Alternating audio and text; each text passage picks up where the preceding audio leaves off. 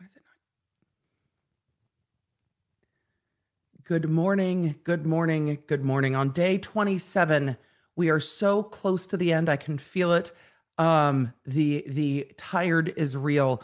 The jury went to Moselle this morning, did a jury view, and is headed back to the courthouse now. Once the jury gets back to court, we will have a brief amount of jury instructions, closing argument, and then the rest of jury instructions is how the judge said he was going to do it yesterday. Could that change? Yes. Could the judge do all of the jury instructions first and then argument? Yes.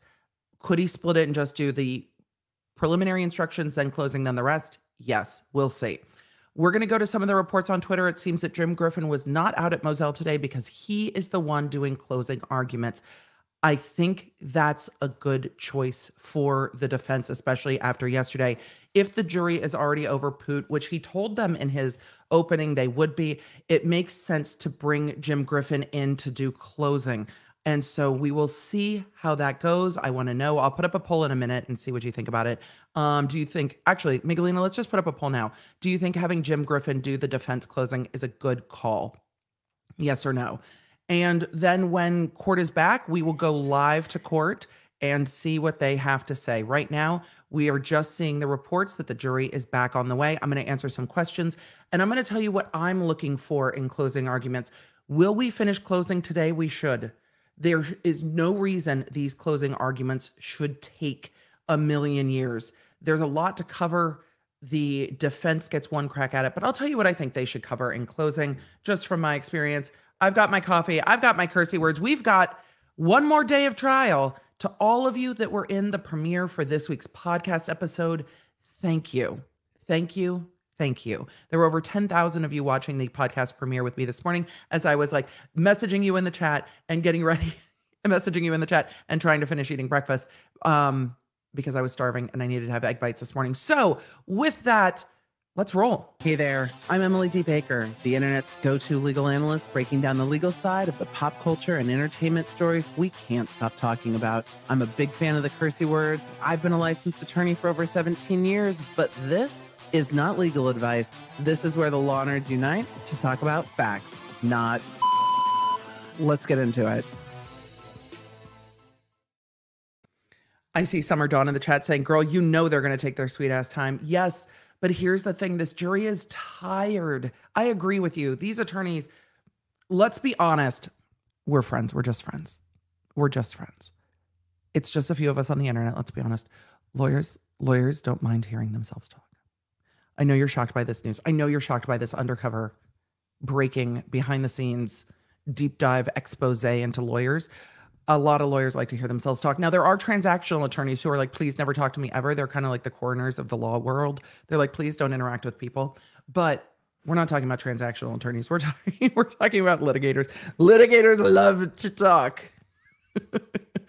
me i'm i'm the problem it's me so with that let's talk about what i would what i would want to see or what i want to see covered in closing for both sides and then we'll get to no let's do reporting first and then i'll tell you what i want to see covered let's i withdrawn i overrule myself and then i'm going to answer some questions um, so make sure you guys are asking them so i can see them clearly and we'll grab them um, as many as we can lisa pnw pacific northwest fox Will Creighton or the AG do the closing? I haven't seen any reporting about who will.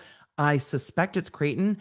It would be interesting for the AG. The only reason it might be difficult for the AG, the AG hasn't built a rapport with these jurors, clearly very knowledgeable about the case.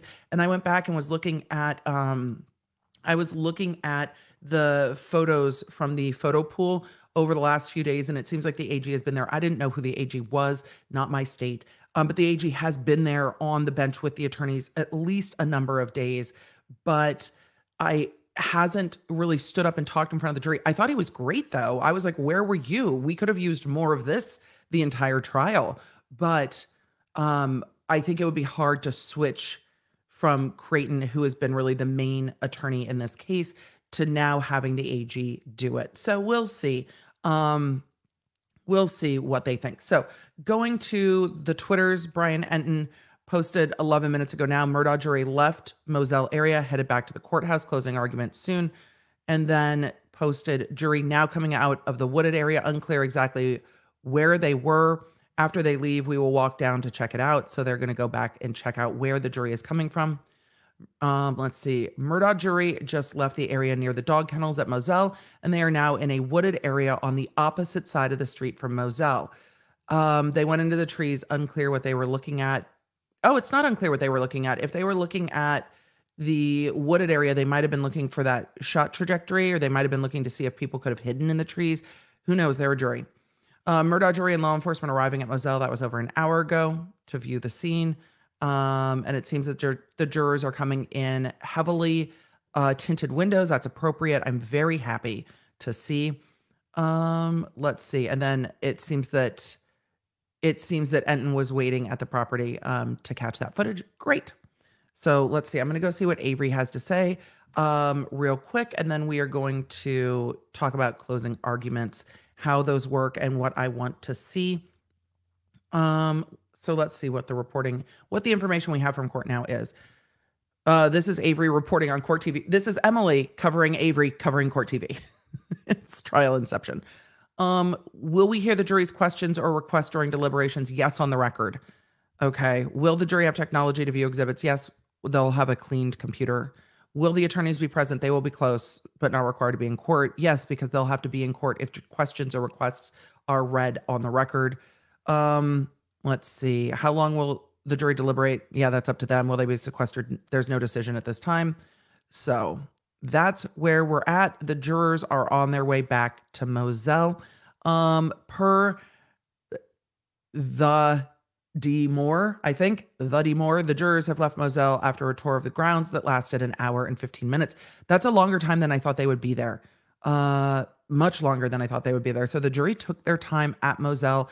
And I think having this done right before, um, right before deliberations is helpful to the jury one way or the other. Who knows what they will take away from that? Who knows what they will find most helpful from that? No word if Alec went on the jury view. He has the right to be there when the jurors are doing things, but it depends on the jurisdiction. It also depends on what his attorneys decided. The attorneys might have said, no, we're just going to go watch and make sure the jury, they're not saying anything. They're not being told anything. There's no witnesses present. So, no, you're not coming. That might have been way more. So, it really depends. He has the right to be there, but um, not all jurisdictions accommodate that. And if the lawyers are there, it's not necessarily uh, something that has to happen, if that makes sense. So, let's talk about what I want to see from closing in the in the chat. I want to hear what you want to see from closing too. So, closing argument. The point is that the attorneys argue the case. They argue reasonable inferences from the facts. They argue if there's, especially if there's a split in authorities or experts, like we see in this case, they argue who the jury should believe what the jury should take away from this case and what the law says and how the jury should apply the facts to the law. The state will go first, then the defense, then the state. That's it. There is no time limit on this, though you can go from helpful to in the weeds real quick. And if the state wants to be powerful in their closing, I think they need to stay out of the weeds when it comes to financial crimes and they need to get into the timeline. The timeline is what's important. I think we'll see the state arguing look, he's at the kennels. He's getting a chicken out of Bubba's mouth. I want to hear no Bubba slander, by the way. I don't want to hear about hard headed Bubba. Look, at my house, George, George is Bubba. Um, we love him dearly, but but the only person he listens to is my kid. So when my teen says, George, the, this cat follows him literally everywhere, and I think would follow him to school if he could. So they need to talk about the fact that he gets the chicken out of Bubba's mouth, puts it away. How much time is that? How much time does that take from the video? And the state started to go down this road, but didn't really tie it back around. So from the kennel video, that's before, because Bubba gets a chicken in his mouth during the kennel video. So from the time of the kennel video to the time he gets a chicken out of Bubba's mouth, talks to his family, does whatever, the hose is still going, puts the chicken down to the time when their phones go silent is minutes. So how does he get the chicken away from Bubba, put Bubba back in his pen because Bubba's only listening to Alec apparently. Put Bubba back in his pen, get back to the house and not hear gunshots. How? And I think that is where the state needs to focus the timeline. And why? Why not go up and check? How do you get back home, lay down on the couch, turn on the TV, and hear nothing else? And then why do you lie about being at the kennels right during the small window when they were killed, according to the state's theory? That when asked, when asked, what did you do after you got the chicken out of Bubba's mouth? I got out of there. Why say that? Why no regret? I got out of there, or I left. I went down to the house. I went to take a nap. I was starting to sweat. I was hot. I got out of there. But that goes both ways for me. Does I got out of there mean he knows somebody's coming? Or does I got out of there mean he knows he doesn't want to be there when the time of the murders are when he's talking to people? I don't know. But the state needs to argue it. I think I got out of there is perfect, and I hope the state brings it back up. I got out of there. We'll see. I think it can go both ways depending on what the jury's thinking. So they need to argue the timeline. They need to argue about the family guns. The defense is going to argue that they're not, that the science isn't perfect, and that those aren't family guns. They're similar guns. But I think the state has to hammer on who is coming onto this property at night looking for Maggie and Paul, not going to the house to check and see if Alec's there when his cars are all there, leaving him alive, and then he leaves and goes and sees his mom. Talk about the fact that he says he says he turned them over and checked everybody's pulse before he called 911, but he's only there for 17 seconds at the kennels to see them, perceive what happened, and then call 911. And then that timeline changed. And the defense is going to talk about trauma. He might not have known exactly what he did, but the GPS tells us that he got up there and we know from 911 that he called 911. And he said he got blood on his fingertips. He never explained where it went. He didn't wipe it on the white shirt. He didn't wipe it on his pants or his legs. It was nowhere. So where did it go? And why is he nervous to say he's cleaning up or he washed his hands? I checked their pulse and it, I was, this is my family and I wash my hands. Why be worried about saying that? Unless you did more than just wash your hands.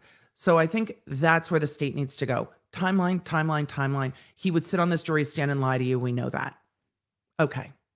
Go through the inconsistencies. Leave alone the thefts. Leave it alone. Leave it alone. He didn't he didn't lie cuz he was afraid of SLED. Right? He didn't lie cuz he was worried about SLED. He lied to Colleton County, he lied to his friends, he lied, he lied, he lied. Fine, he lied. He's a liar. Great. Timeline for the defense, they need to hammer on what the state did not prove.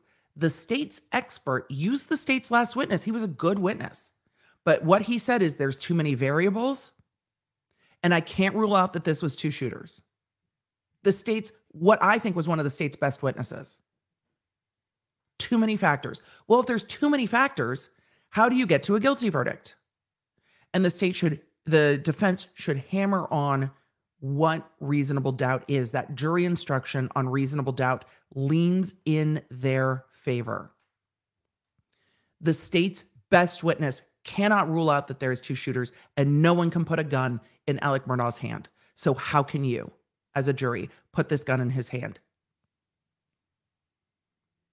They're going to lean into the sloppy investigation? Of course they are.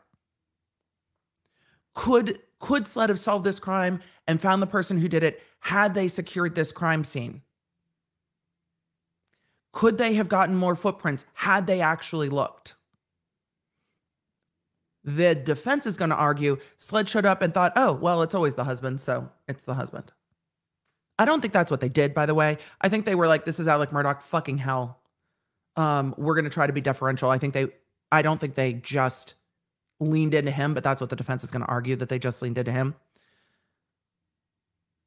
And so we'll see the defense pointing it out.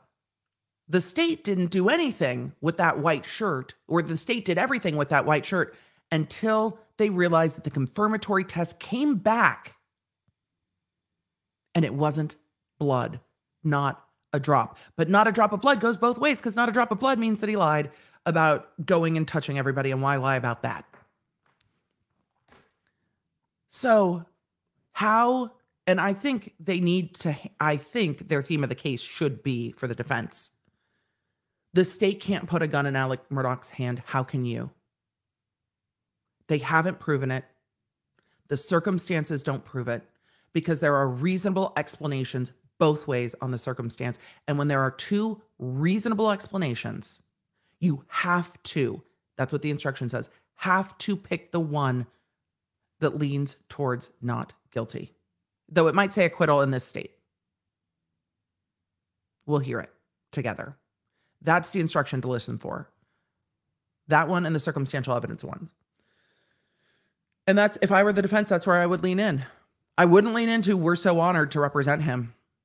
I would lean into you've heard you've heard witnesses that are real mad at Alec Murdaugh about the theft. He's going to be punished for that separate. You don't need to punish him for the theft and remind them of that. And then the state will do a rebuttal and it needs to be clear and concise. If they wander into the weeds, I'm going to lose I'm going to I'm going to yell. Uh, Anna W said jury has arrived back at the courthouse. Wonderful. I'm going to answer some questions.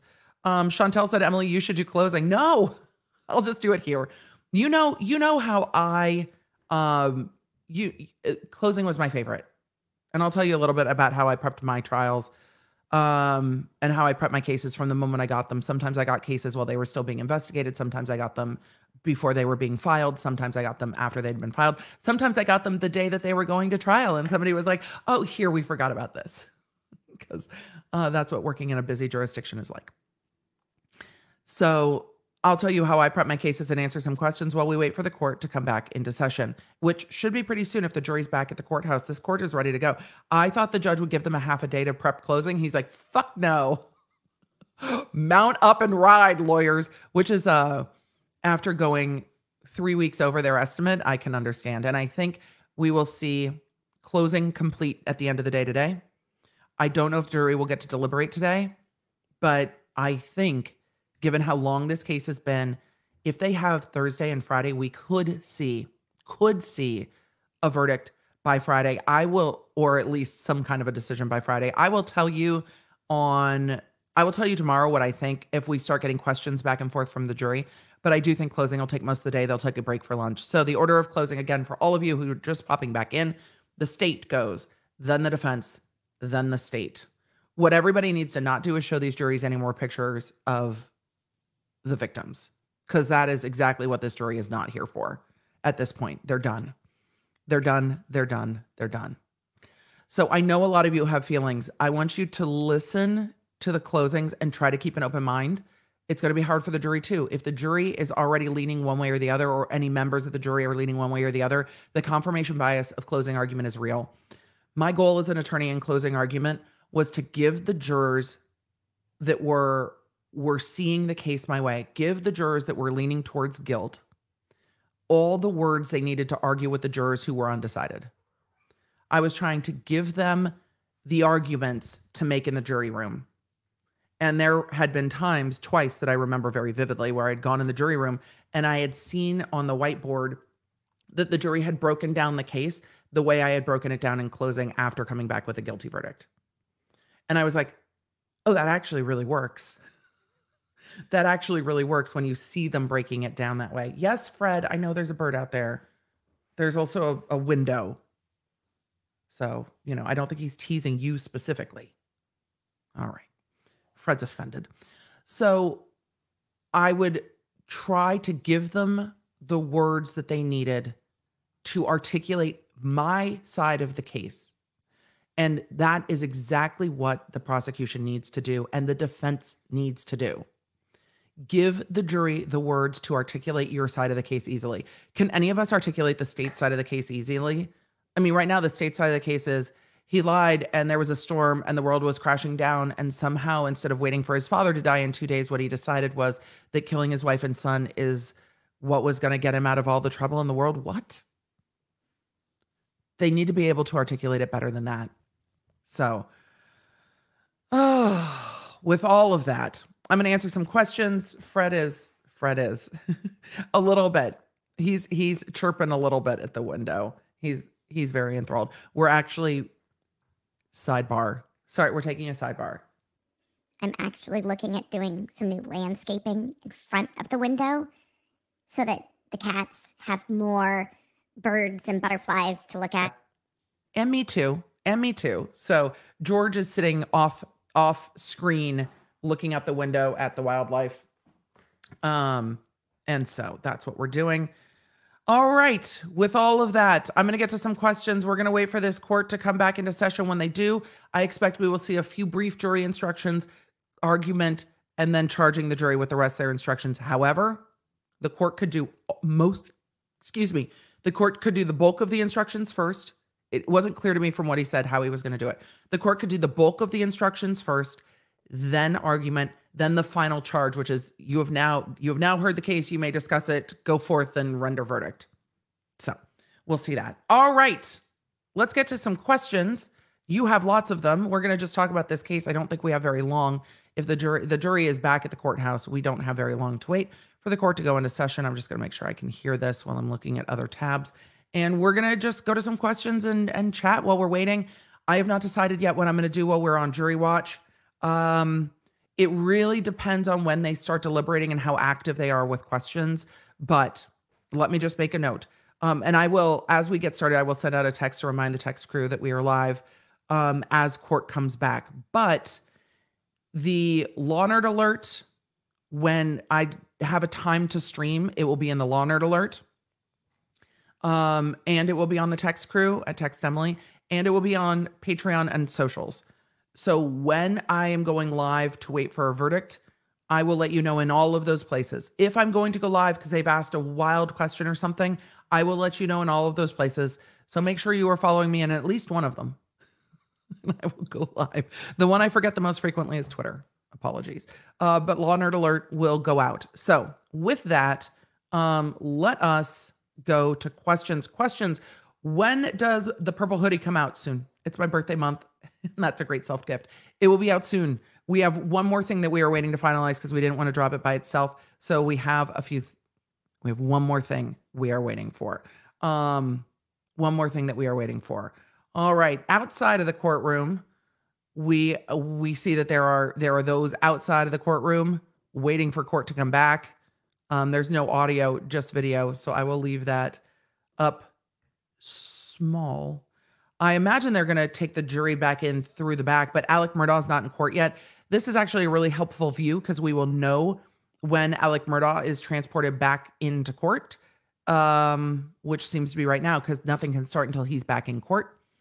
My kid turns three in a week. I can't believe it. Nikki, you're going to feel that way their entire life. My kid is almost 15 and I can't, can't even. Can we get a Brittany Yeeted update soon? Um, we can get a Brittany Yeeted update once I have once I have actually gotten the documents and reviewed it. So during an Ask Me Anything, my answer would be, I'm so sorry. I have not.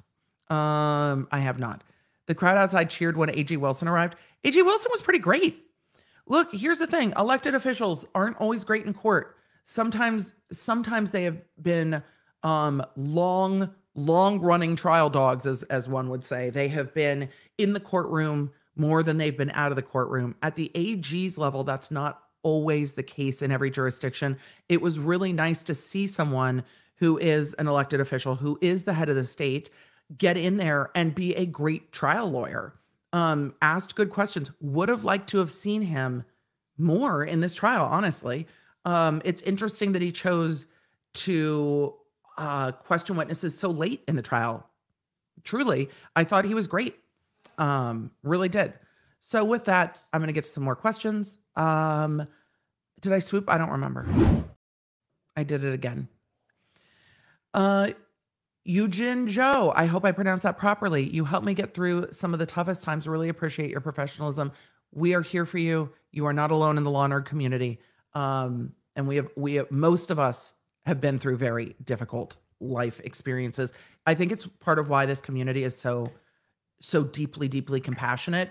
Like law nerds, we've been through some shit and we're here to to tell you about it on the other side. And I really do think it's one of the things that makes this community so damn special.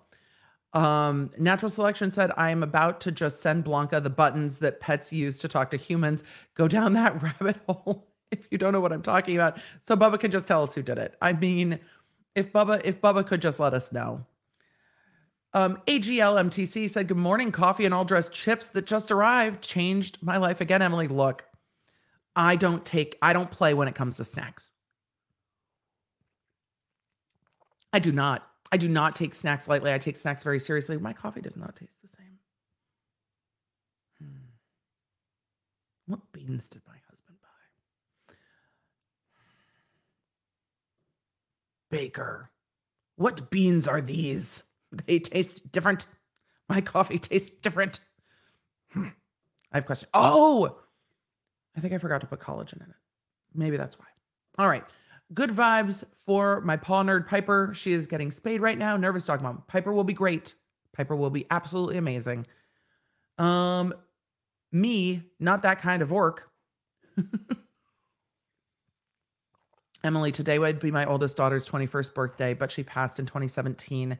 Still a happen, happy heavenly birthday to your daughter. This week is historically difficult. Of course it is. Thank you for giving me something else to focus on. I don't know if this is the most easy thing to focus on, but the law nerd community is here. Um, and you are not alone in that loss in this community. So happy heavenly birthday to your daughter. Nana said, Will you be covering the Vallow Daybell case? I don't know yet. I, I have not made a decision. I'm not saying no, but I'm definitely not yet saying yes. I know it's going to be audio only, which is very difficult for my brain to process. It is a very difficult case. I just I just don't know. I just don't know. Oh, and by the way, if I didn't make the correct coffee, it's me. Like I'm the problem. I might have just forgotten something in my rush this morning. Question Do you think the defense argument in opening that Paul left guns lying around so anybody could have gotten them and then going there to try to say Paul shot himself will come back to bite them? I don't know. Those types of differentiations tend to not be held against the defense as much because their job is zealous advocacy and they're allowed to kind of throw the spaghetti against the wall and see what sticks. Um, I think they will continue to argue guns could have been around, guns could have been wherever. Um, be, but if there was a keypad that his brothers are using to get into the house, nobody addressed who else might have had the combo to that keypad. Maybe they just don't know, and that's why they didn't bring it up. But there's a lot more there. Um, it's interesting because if if the defense if the defense doesn't think that these are family guns and they're going to argue that it's junk science and tool marking is bullshit and all the rest of it fine why go to the length to argue paul left guns lying around they're trying to cover that possibility too so they're trying to cover both possibilities it's like look these aren't family guns but if you do think they're family guns the only reason they're family guns is because paul must have left them somewhere which is interesting so um Anyway, let's see. Sending a huge shout out to my boss, Tia, who is watching you for the first time. Well, Ariana's boss, Tia, hello. me and my work bestie, McKenna, who is watching with me. Welcome the law, to the Law Nerds community. Welcome everyone to the Law Nerds community. I love it when you welcome your friends and family to the Law Nerds community. Did we ever find out what the email the judge received yesterday? No, we didn't. The media didn't. We didn't. We don't know yet. Question How are the jury members financially compensated for four weeks away from their lives? Six weeks away from their lives? Not well. It's normally about $15 a day, if that. So, yeah, not well. It is a tremendous financial burden to be on a jury like this.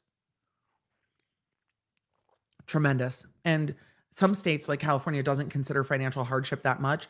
The attorneys do when it comes to longer trials. They thought this was going to be 3 weeks. Imagine not being able to work for 6 weeks and what that would do. Some some employers compensate for jury duty. Some do. But it really depends on the job, on the employer, etc. So I see some of the chat saying I think it's $25 a day. That varies by jurisdiction too. Um, some places it's 13, some places it's 10, some places it's 15.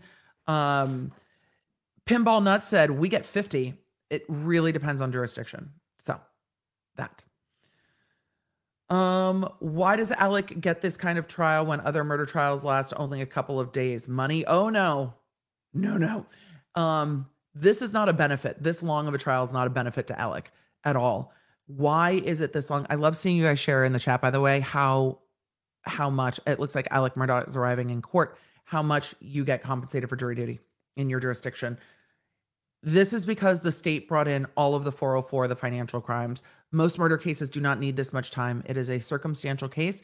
He did have more defense witnesses because he has money. The amount of defense witnesses and the experts that are being flown in from here, there, and everywhere is because he has means. But that was only a few days of this trial, and it was to rebut the state. So Um, that's why. All right. Alec Murdaugh is back in the court uh, or walking back into court, which means we should actually be rolling pretty soon from court now that the defendant has entered the building. So I don't think a long trial is a benefit for him. And I think it's it's a highly well, it's an entirely circumstantial case with a whole lot of moving pieces because they brought in, well, the state brought in all of the moving pieces. So that was really the state's decision. Um, going to see where Maggie's phone was. Key sunsets, that's what I was thinking too. Going to see how far Maggie's phone was. Um, Anya said, watching the AG feels like I've been watching a JV and game and varsity is now playing. I thought he was really, really good.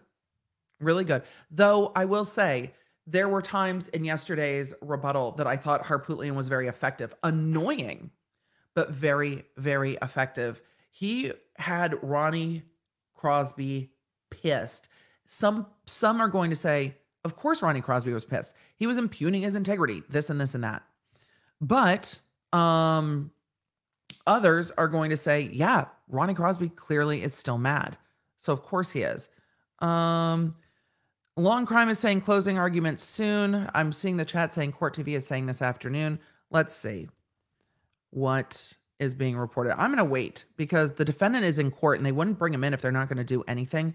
They might charge the jury first and then do closing this afternoon, but I think we will definitely have something that we will see. Um, and I'm not seeing anything on um, Twitter. Don't don't worry. The next thing we have to cover is everything that got unsealed in the Idaho Kohberger case.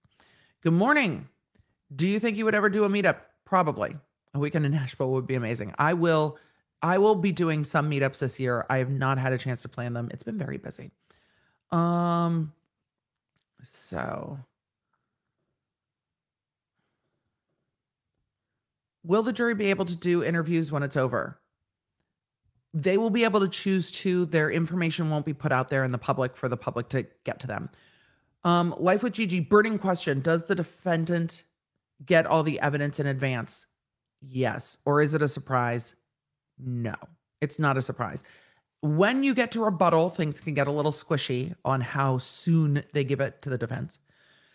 But everything should be turned over. I think it's a problem that the coroner or the uh, the pathologist didn't turn over her notes the state should have asked her for those and those should have gotten turned over or the state should have indicated that they had them in the demotions to not turn them over because they're work product and they just turned over the reports normally the underlying notes don't get turned over depending on the circumstance but sometimes they do sometimes the contemporaneous notes do get turned over so um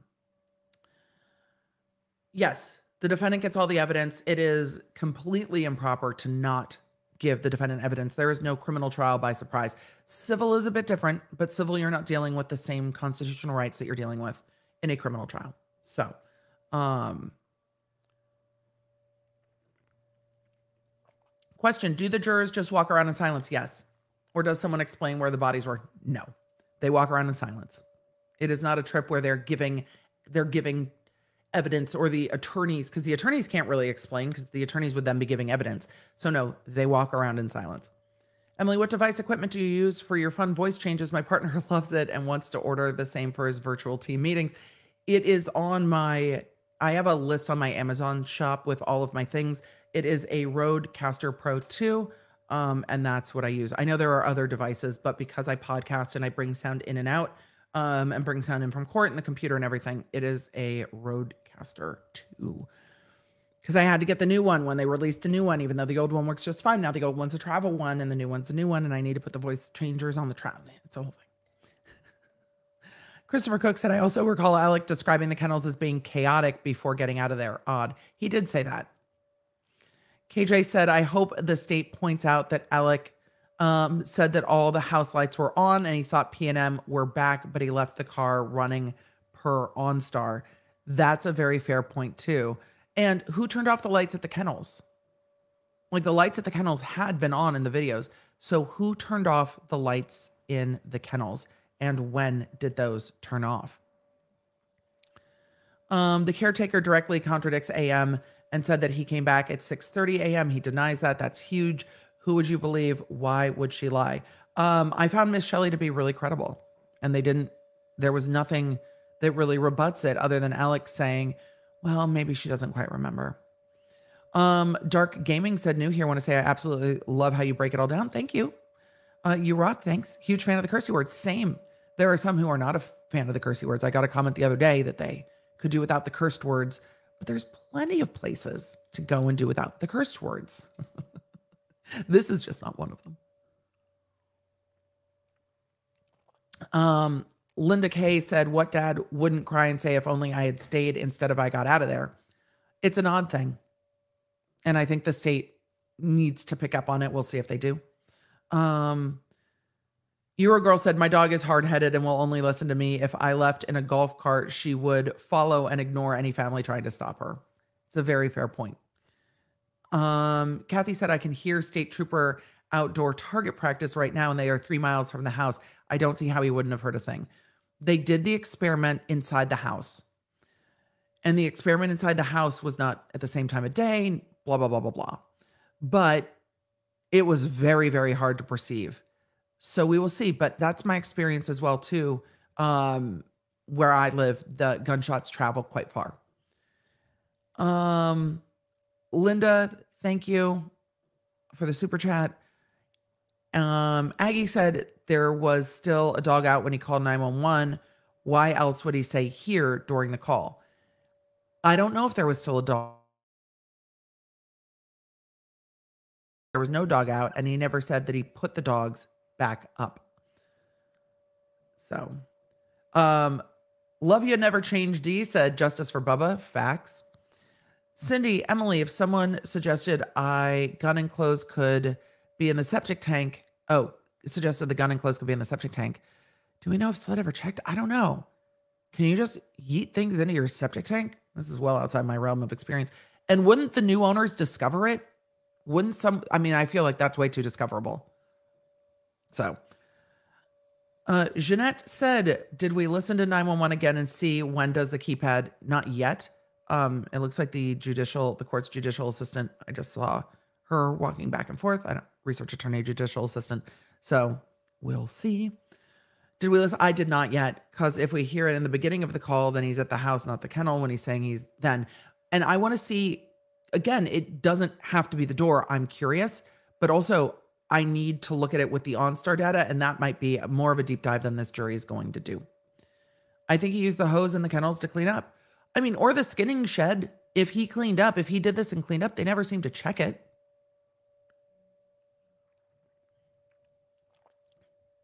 Bree said, Who speaks first in closing? Prosecution, then defense, then prosecution. And yes, the prosecution gets a rebuttal. They have the burden, so they get more airtime.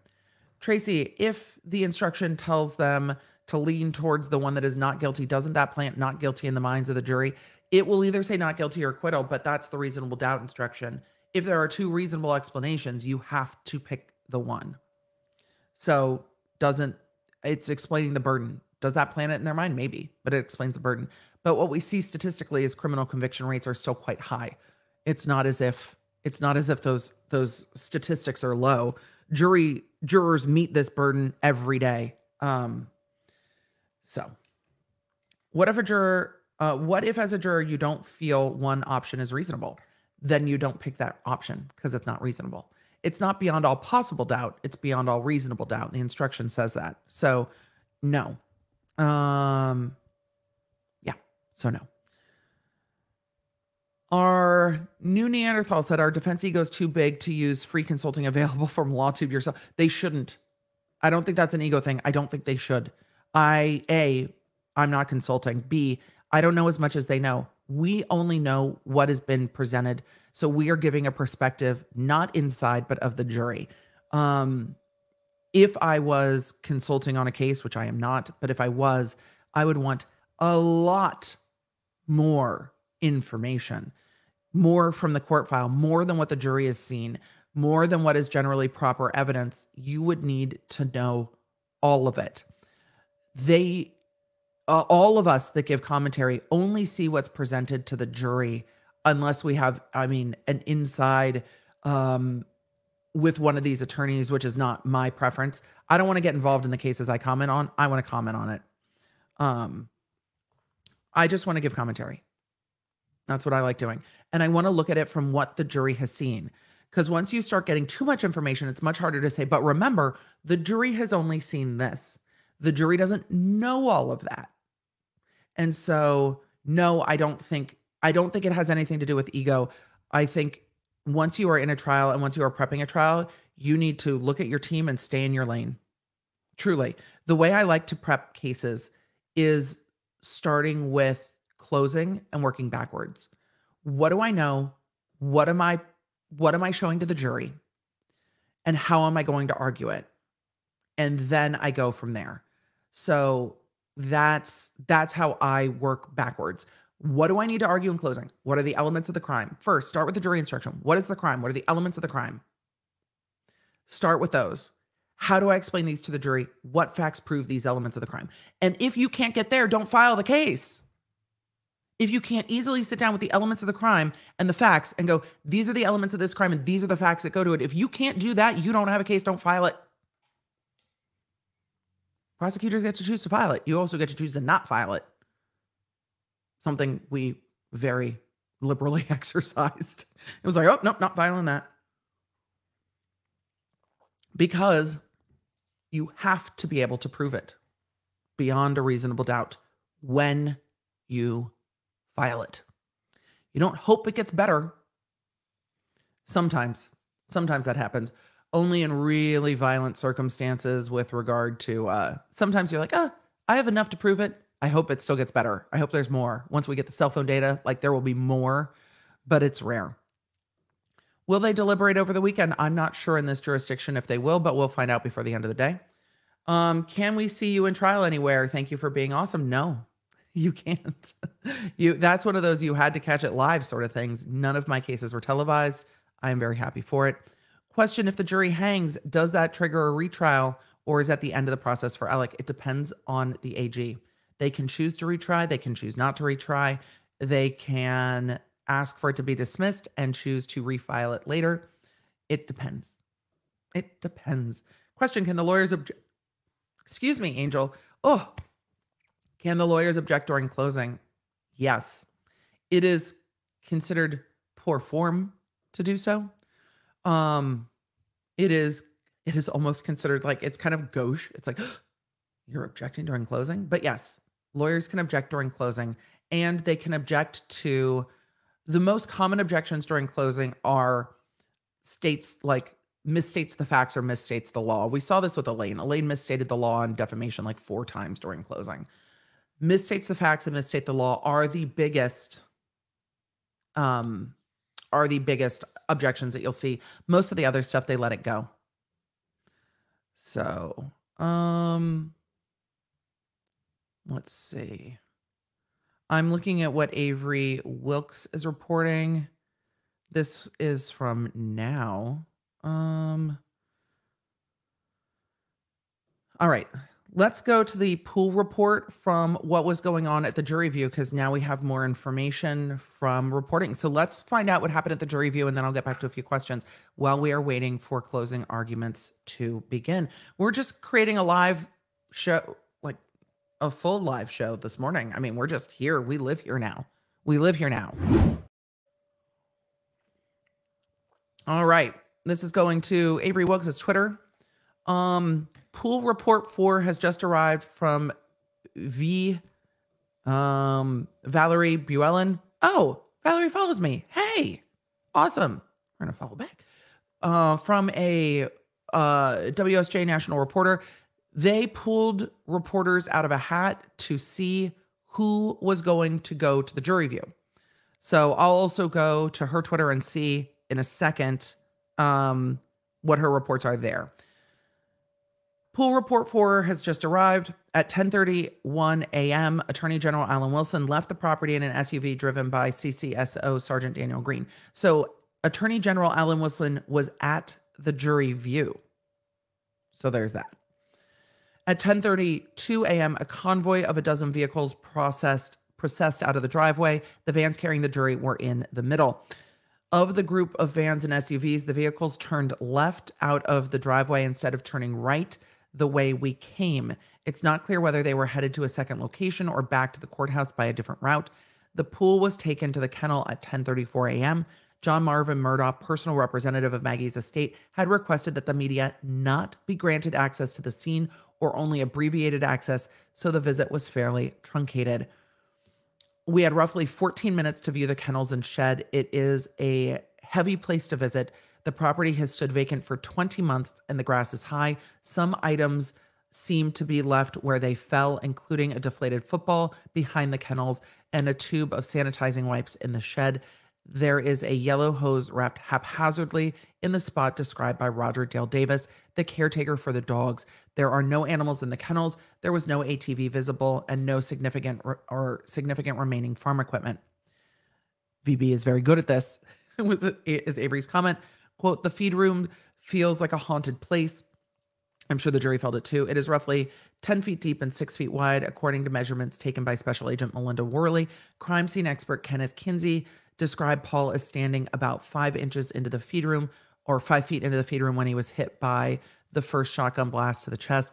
The doorway is off center and on the right. There is a shelf on the left at waist high. Standing in the center of the small room, which is roughly six feet wide, your uh, pooler could not see to the left outside the doorway. Going to Paul um, not perceiving who's attacking him because you cannot see to the left outside the doorway, and that's the direction the shots came from. It's a really helpful observation. Um, so your pooler could not see to the left outside of the doorway where Mr. Kinsey said the shooter would have been. The concrete pad where Paul fell is within sight of the corner of the shed where Maggie's body was found. Maggie fell roughly 12 steps from where Paul would have fallen. And they said 12 steps for me at five seven. also um, 12 steps for Stephen Gershon at six one steps. That's, I mean, that's heavy. And that shows you how close it is.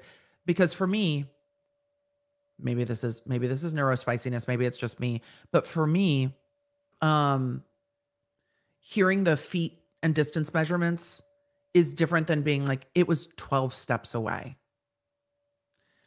12, 12 steps away. Um that's so close. And again this goes to the state's argument or i think it should go to the state's argument. We're going to take a pause just because this goes or should go to the state's argument in closing. Maggie was running towards paul the way she fell indicates she was coming towards. And if that is the case, it indicates that she is not running away from a perceived threat. She is running towards her kid.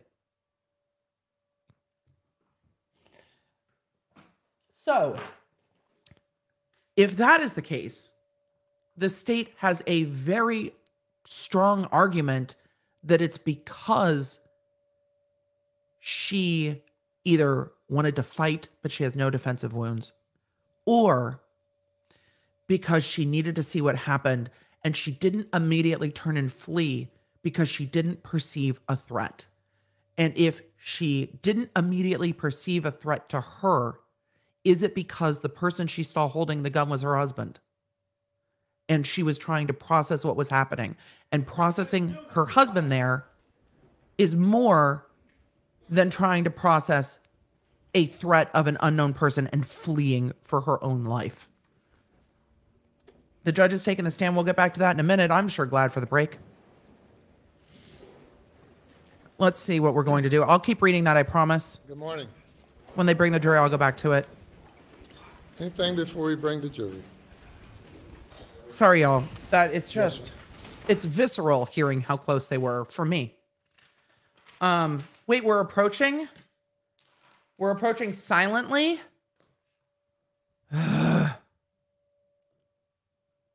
Anyone good at lip reading?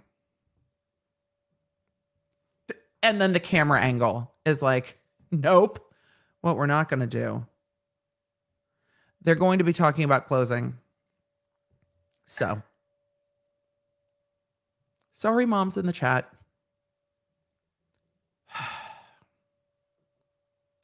All right. I'm going to go finish the jury view while they are talking. No, because I want to see while they are talking. Hold on.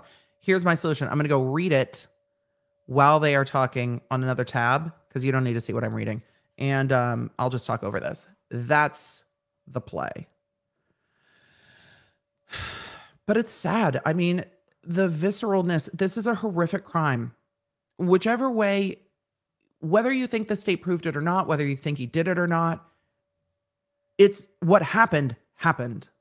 Um, who did the thing is the biggest question here, but it's just heartbreaking either way. Um, all right. So 12 steps apart from each other. I'm going back to Avery Wilks reporting on what the pool reporter um, from the Wall Street Journal who was selected out of a hat to go to the crime scene. And you know what? I appreciate having pool reporters at the at the walkthrough to give kind of the visceral give the visceral information. So, let's see. The interior of the feed room appeared to be redone with newer plywood and parts had been painted. The back window the back window remains and the bullet holes are large and cracked around the edges. There was significant testimony about the bullet hole in the quail house. The hole is still visible and is in cardboard that appeared to be stapled to the side of a structure.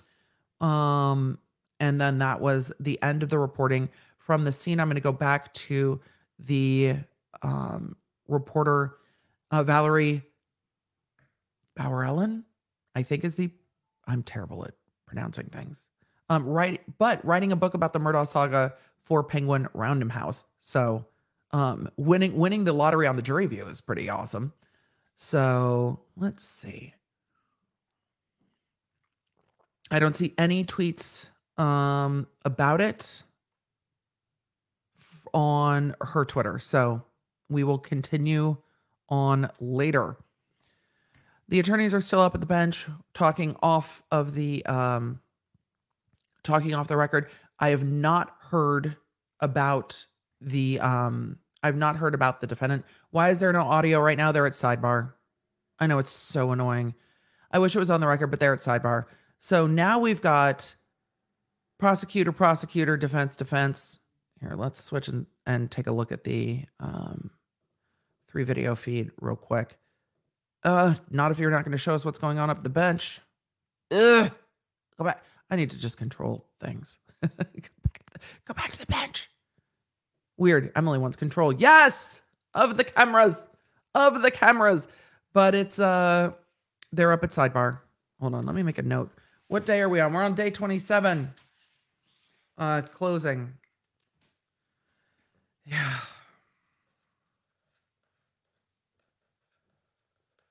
Yes, in the chat. So they do know how to sidebar.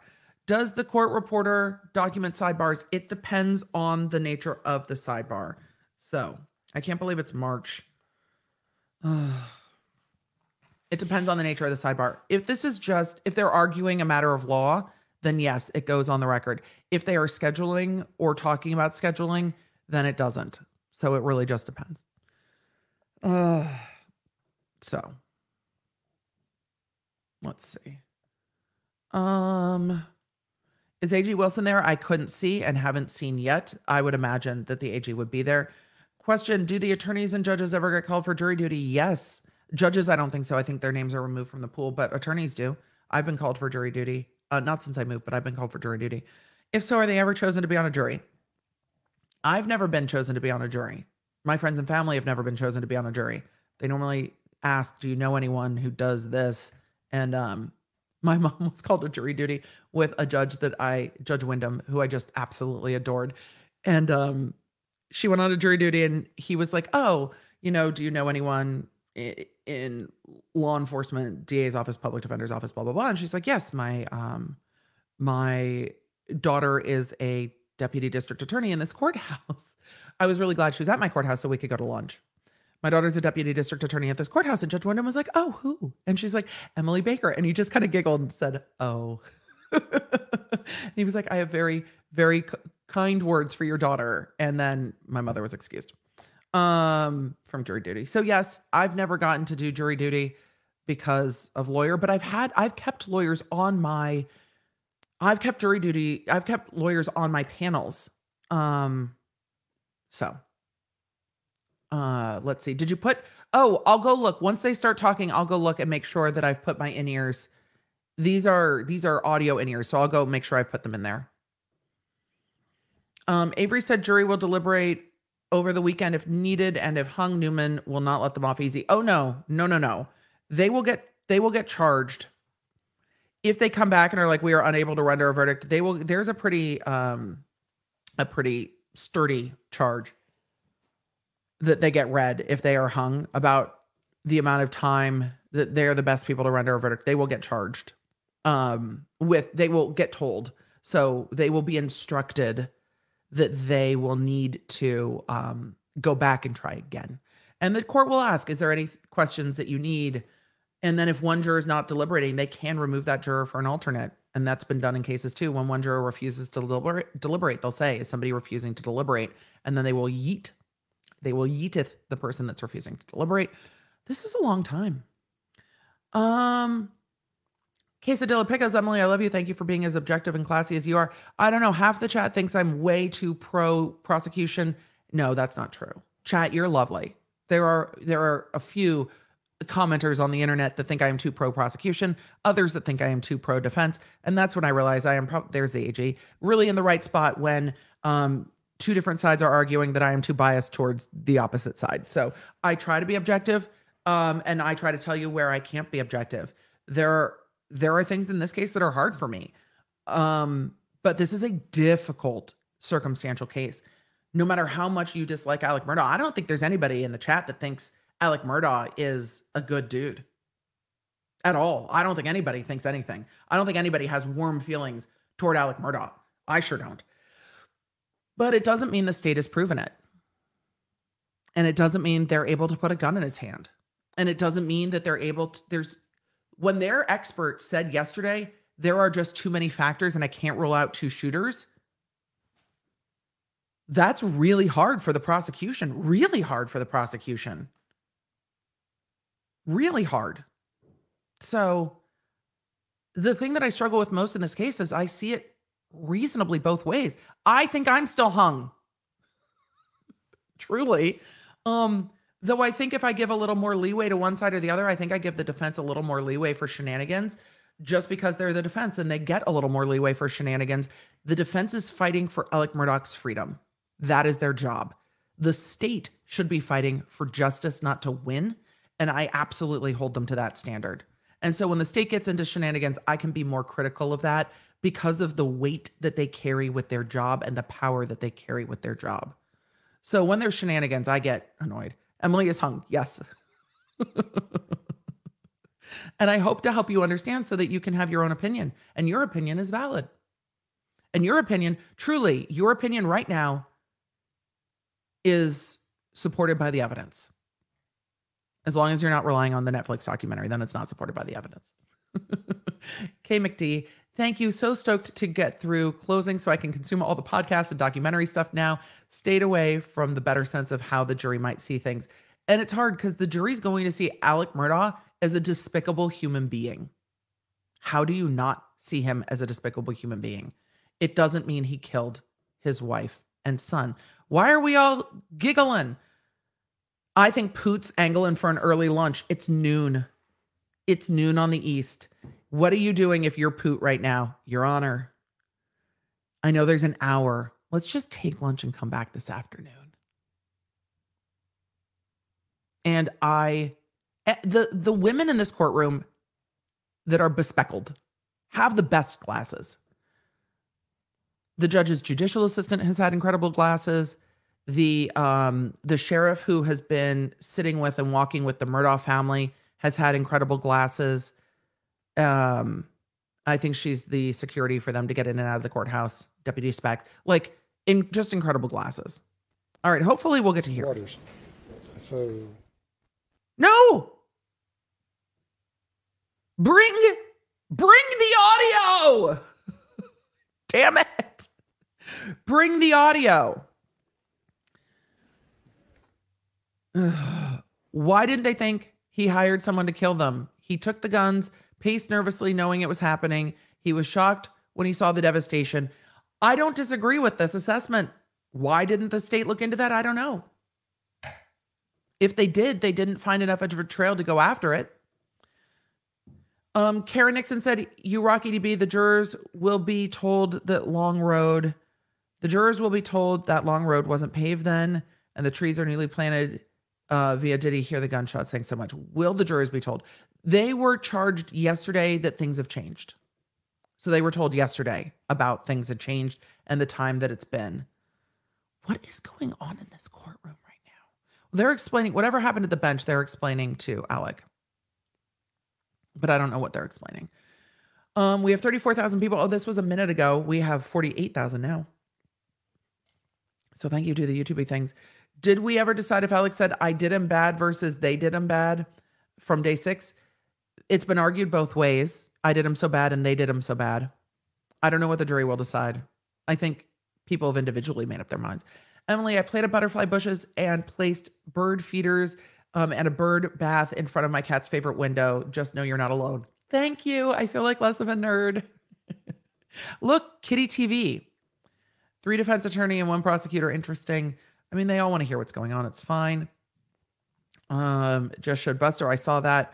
Wilson was at the site visit. We covered that a little bit earlier. I think that's fair. He's not doing closing. Creighton's going to be doing closing. Um, the Daily News summary said we will miss you when these trials are over. Don't worry, I'll still be here at least twice a week live. Bye, Dr. B. Safe drive. Mind the deer. Um, I will be here on Tuesday and Thursday during my normal streams. And on Wednesday, the Emily show's out. And on Friday, Quick Bits will be back. I'm going to be catching up. So, so don't worry. There will be plenty of Emily. And if you haven't like binge listened to the podcast, it's there. Terry Summerfield said, Was there any proof that Bubba was ever out of this kennel? Yes, he caught the chicken. I don't remember anyone mentioning dog prints. We saw no dog prints. The caretaker said the rooster would get on them and tease them, and the dogs killed Jury. him. That had been in the past, but he had a chicken in his mouth. He was out. All right, you may bring the jury.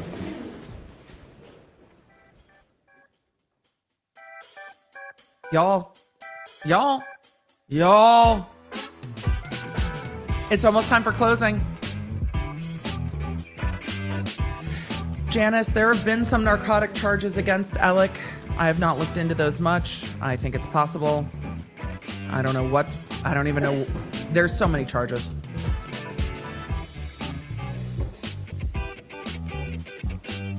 Jenny said, I'm a nurse, but you and your commentary have me second guessing my career choice. Oh no, you are doing the, the Lord's work. You can be a law nerd while having another profession.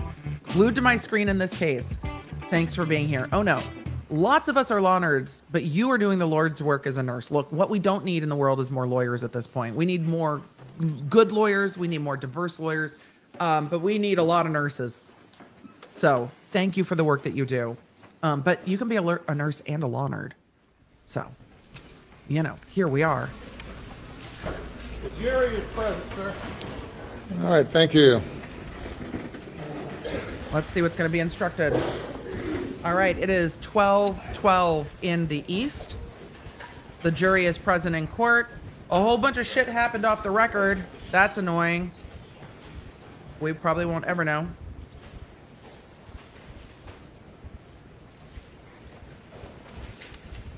Wait till everyone gets settled. Why is there a prosecutor still standing? The judge is not thrilled. He's like, "Sit the fuck down." welcome again, once again. He's so Uh, Day number 27. And you have heard all of the testimony, received all of the evidence. Uh, You've visited the s- scene of the alleged crimes. And now it's time for closing arguments. First, by the state, Mr. Waters. oh, no charges. Thank you, Your Honor. Right May into it. support? Right into closing arguments. Closing arguments are starting now. Good morning. It's been a long trial, hasn't it? No shit. On June 7th, 2021, at the Moselle property in Colleton County, Maggie Murdaugh and Paul Murdaugh were brutally and maliciously murdered at the kennels by Alec Murdaugh. Malice is an element. Paul, as you know, suffered two shotgun blasts. Maggie suffered, suffered five blackout rifle wounds. And after an exhaustive investigation, hmm. there is only one person who had the motive, who had the means, who had the opportunity to commit these crimes, and also whose guilty conduct after these crimes betrays him. Oh, consciousness of guilt. I wondered if we were going to get there. The defendant was the one person who was living a lie. The defendant is the person on which a storm was descending. And the defendant is a person where his own storm would actually mean consequences for Maggie and Paul and consequences for those who trusted him. And that person is the defendant, Richard Alexander Murdaugh. I know this has been a long trial because it's a complicated case. And I'm not going to talk forever, Good. I promise. But Lies. I am going to try to distill this down for you. And the Good. first thing I want to do is set the Distill it. stage. And to set the stage, we have to understand a little bit about Alec Murdaugh and who he was and who he is. He was a person of singular prominence and respect in this community.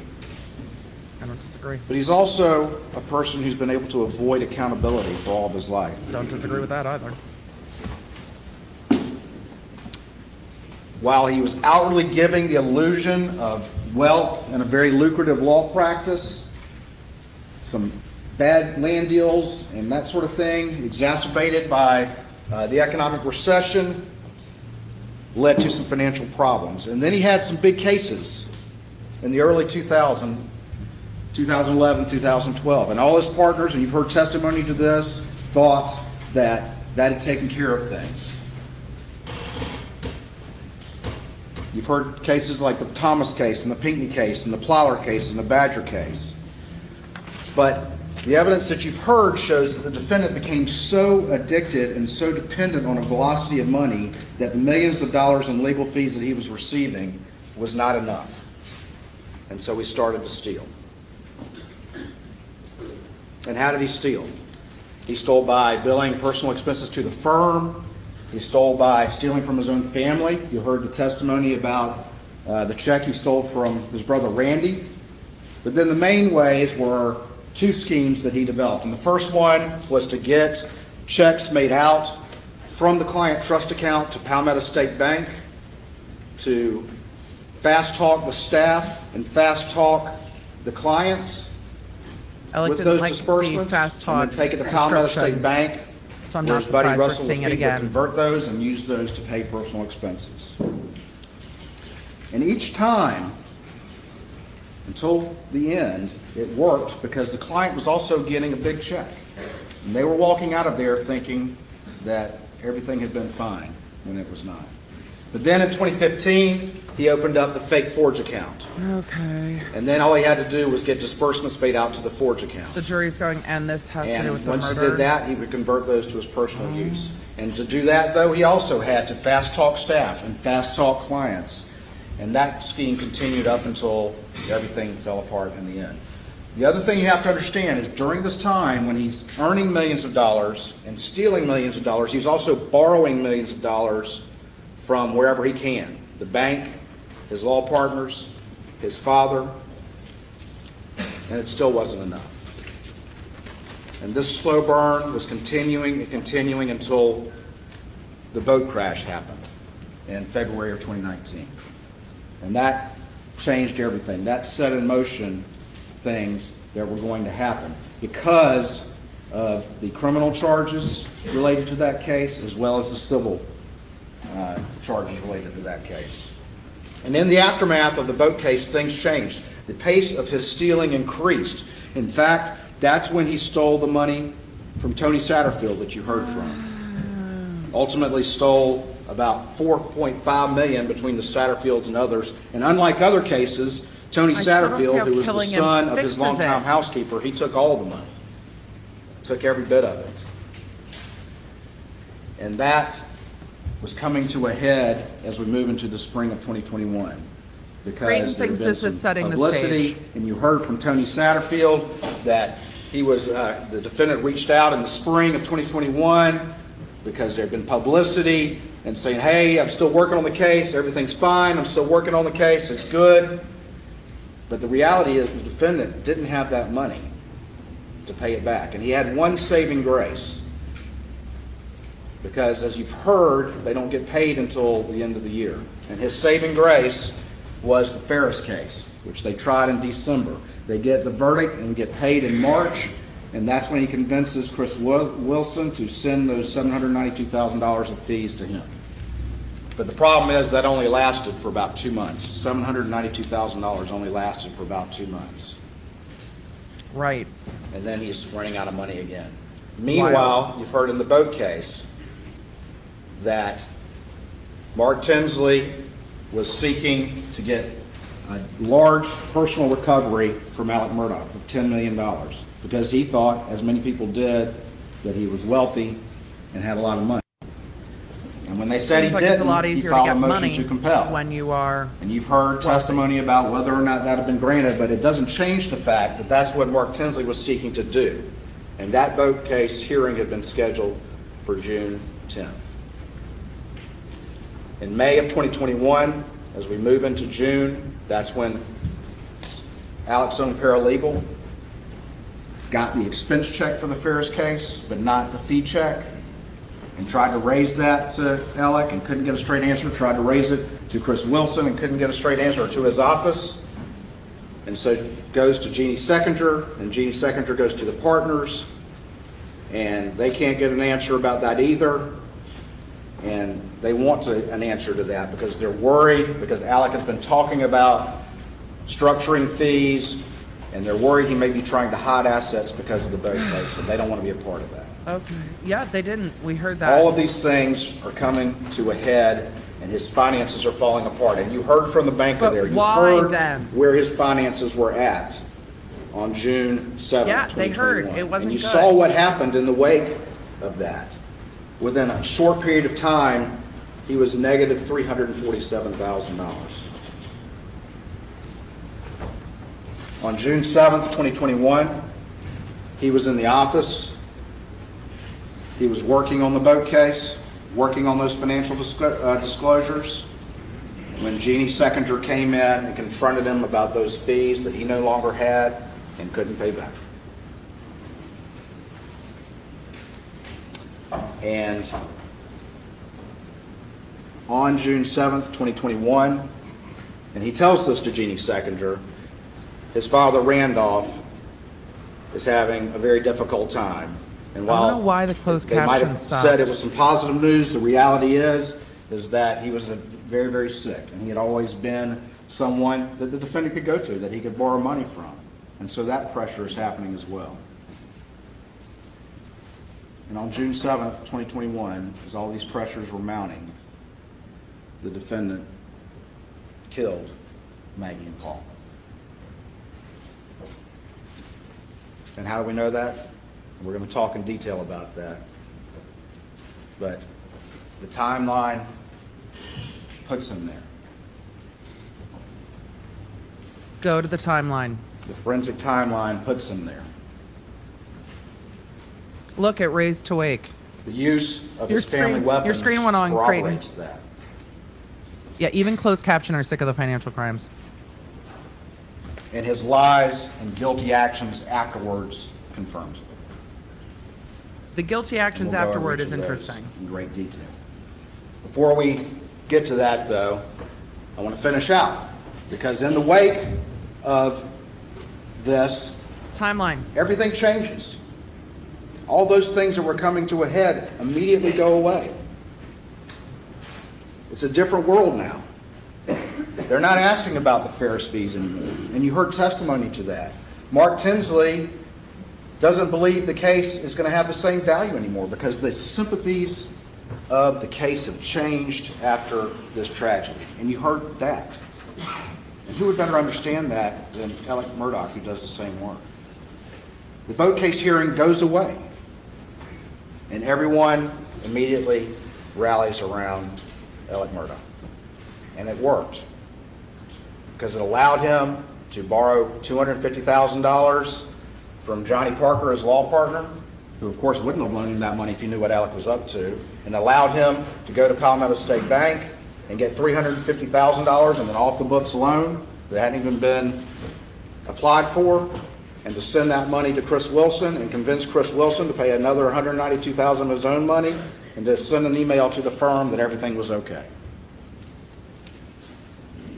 And that made it another month or so until Annette Griswold found that And the check in defense his is gonna office, argue that it made it and harder Jeannie for him to get Seckinger money. looked up the forged accounts. Okay. And then What Fake happened Forge. in the wake of that? That's What a was good the argument. reaction? What's the reaction to Fake Fidelity Forge? Within a day of September 3rd of him being forced to resign, his buddy Chris Wilson is trying to see him, comes and sees him on September 4th, and confronts him about what he's been doing.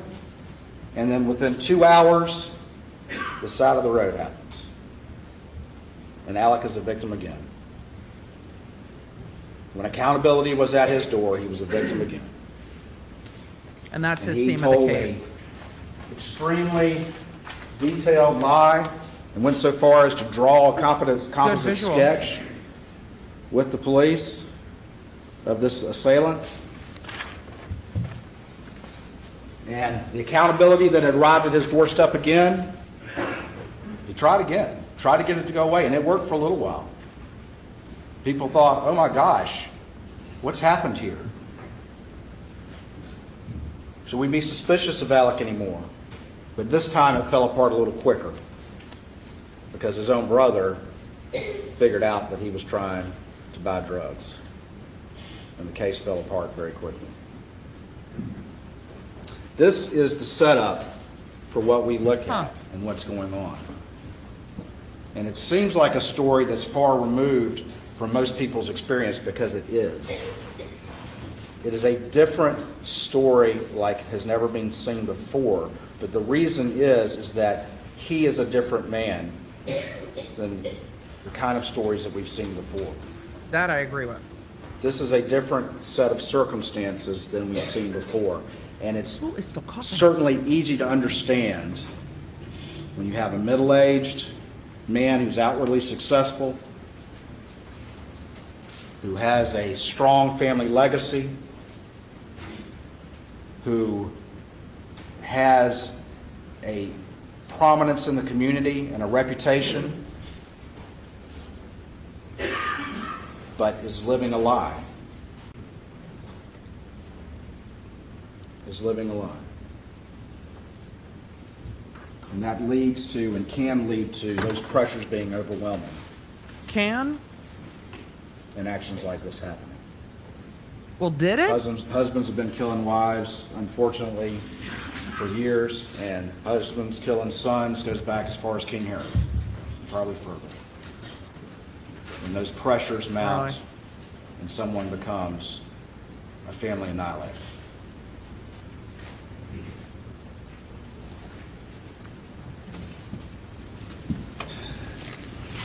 I like that he slowed down his delivery too. Can I have the computer input, please?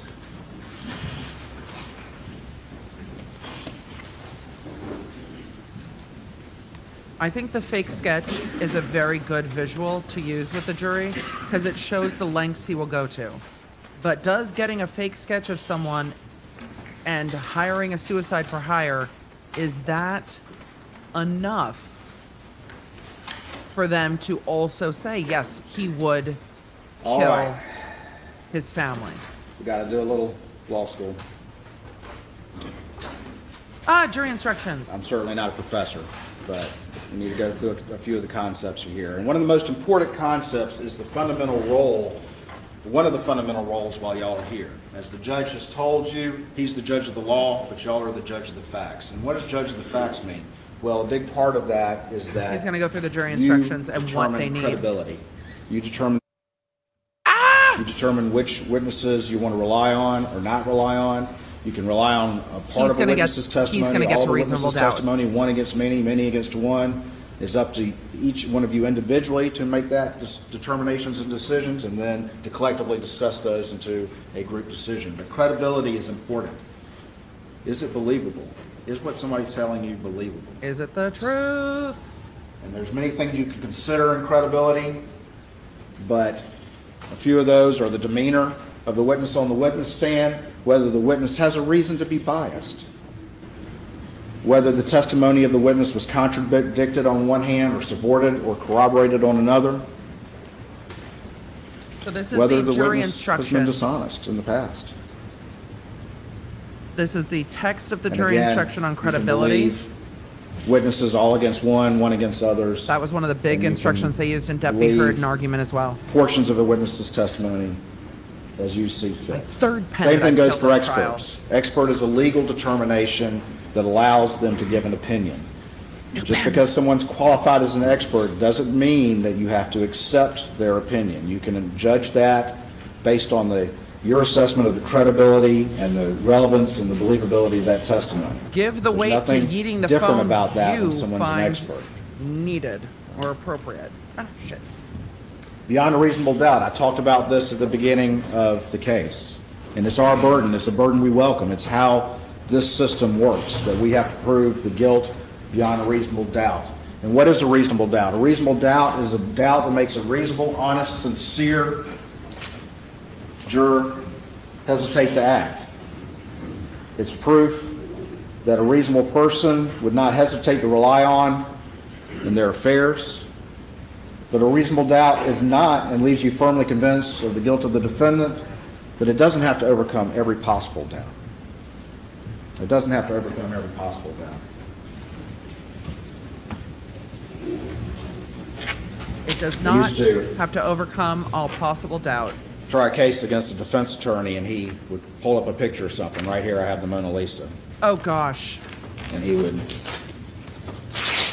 tear off a piece like that and say, Oh. ladies and gentlemen, Oh, okay. That's reasonable doubt. And my response to that is, You can still tell it's the Mona Lisa. You still know what this is, right? Yep. You still know what it is, and that's reasonable doubt, okay? I like to You see this know what it example making the rounds across the country. Then it's your duty under the oath that you've taken, as the law, as the judge will give you the law to convict the defendant. This is Direct an and example I've circumstantial. seen a lot. Direct directly pr- proves the existence That of made the me fact, laugh. and circumstantial evidence is proof of a chain of facts and circumstances indicating the existence of that fact. And we talked a little bit about that at the beginning.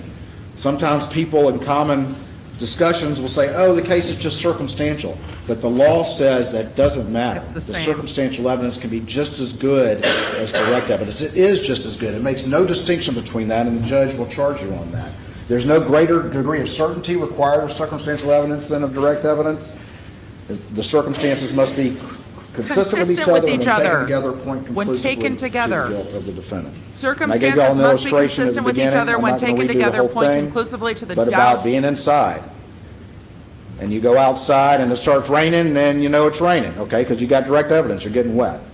But if you go inside and you're in a closed room and all of a sudden it gets dark and you hear thunder and you uh, hear the wind rustling and you hear the, the rain coming down on top of the roof and then after an hour or so, you go outside and the sun's shining, but there's limbs all down in the yard, and it's wet as far as the eye can see, and there are puddles in the yard and puddles in the driveway. Is there any reasonable doubt what happened, that it rained? It rained. Now, again, I'll, I'll say it again. Supposedly, I guess somebody could have sprayed the whole neighborhood with a hose and, and blown a fan to blow the, uh, the wind down, or blow the limbs down, simulate, uh, winds, but that's not a reasonable doubt, ladies and gentlemen. Circumstantial evidence can be just as strong as direct evidence. It is just as strong. The law makes no distinction just because it's circumstantial. All right, let's talk about murder. Murder is the willful killing of someone with malice aforethought. It's the unlawful and willful killing of any person by one with malice aforethought. The crime of murder is really, as far as the elements go, Simple. fairly simple. It should have been simple. the operative terms here, the most important terms are malice, which is the mental state that the person must have, and A aforethought. forethought. But let's talk about those. What exactly do they mean? Malice, and it could be any of these. It can be the hatred, ill will, or hostility towards another, but it also can be the intentional doing of a wrongful act with an intent to inflict an injury under the circumstances that the law would infer an evil intent. It could be a general malignant recklessness of the lives and safety of others. It could be a wicked or depraved spirit intent on doing wrong. It used to be called depraved heart murder ages ago. Firearms, shotgun and a Things used to be more dramatic. to blow somebody away. Some jurisdictions probably do still call it gentlemen, if that's depraved heart murder. decide. A forethought. Sounds like it has to be planned, and certainly planning would account for a thought- a forethought, but it can may be conceived at the very moment, a split second, or, or in conjunction with the act. So a forethought doesn't require planning. It can be for picking that up the gun and malice firing to it. occur. All it has to do is exist in the moment, just a split second Snap. or in the Come on, Craig. moment You want to. that the act occurs. So when that trigger's pulled, as long as there's that You intentional do doing of a wrongful act, intent to inflict an injury, there would be an evil intent, It's the wrong slide. a malignant recklessness, which you can infer from the circumstances of the case, then that's all you need. And how do you do that? I said infer, because people don't always yell out what their intentions are. You have to infer it from the circumstances of the case itself. Look at the crime scene, look at what happened, look at the backstory, look at all the circumstances that come together, and you can infer malice from those.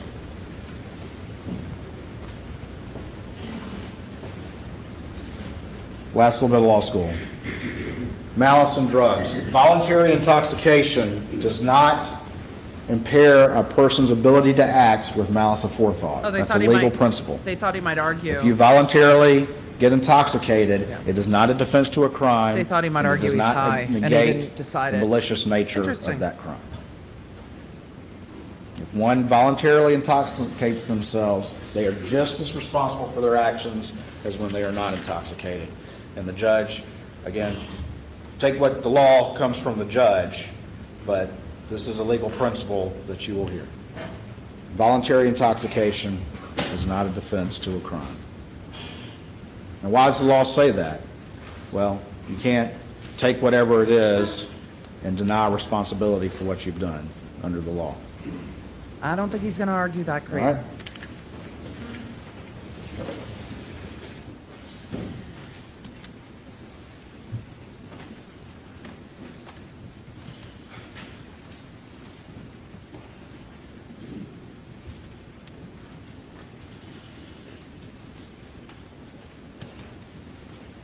I'm going to move through this quickly because we've already talked about it. And just for scheduling, I'm going to have to stop my argument so that we can all eat. Um, But, uh, and that'll give you all a chance to get away from this for a little bit. But uh, I'm going to go ahead and go through some of this that we just talked about, but very quickly. Gathering storm in Alex's life. We talked about the family legacy. You heard how important that was to him and how important that was to this family and how it was in danger because of the boat case. The criminal charges as well as the civil charges. That legacy was in danger. And it was threatening also to expose him for who he really was, which would to- totally destroy his part of that legacy. Lose his career, lose his bar license, face consequences like he's never seen. He's also a successful lawyer and a part-time prosecutor. And as we go through and talk about the circumstances of this case and talk about the crime scene and the timeline and all the rest of it, think of it with that in mind.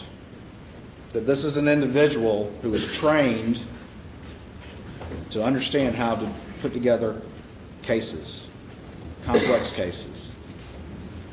He's been a prosecutor. He's done complex car wrecks. He understands the law. He's given closing arguments to juries before. So when you have Apparently lots of a them. defendant like that, be thinking about whether or not this individual is constructing defenses and constructing alibis. Talked about his law practice. You've heard how lucrative it is. It it is. I I had to struggle with him to get him to admit that he was wealthy making more than a million dollars a year. Um, I'll let y'all decide whether or not that's wealthy, but he admitted ultimately that, you know, that was, that was not uncommon for him to make that much money on top of stealing and borrowing on top of that. All right, I'm gonna The switch important thing so that remember we again, don't keep and I want to highlight this: is that they get.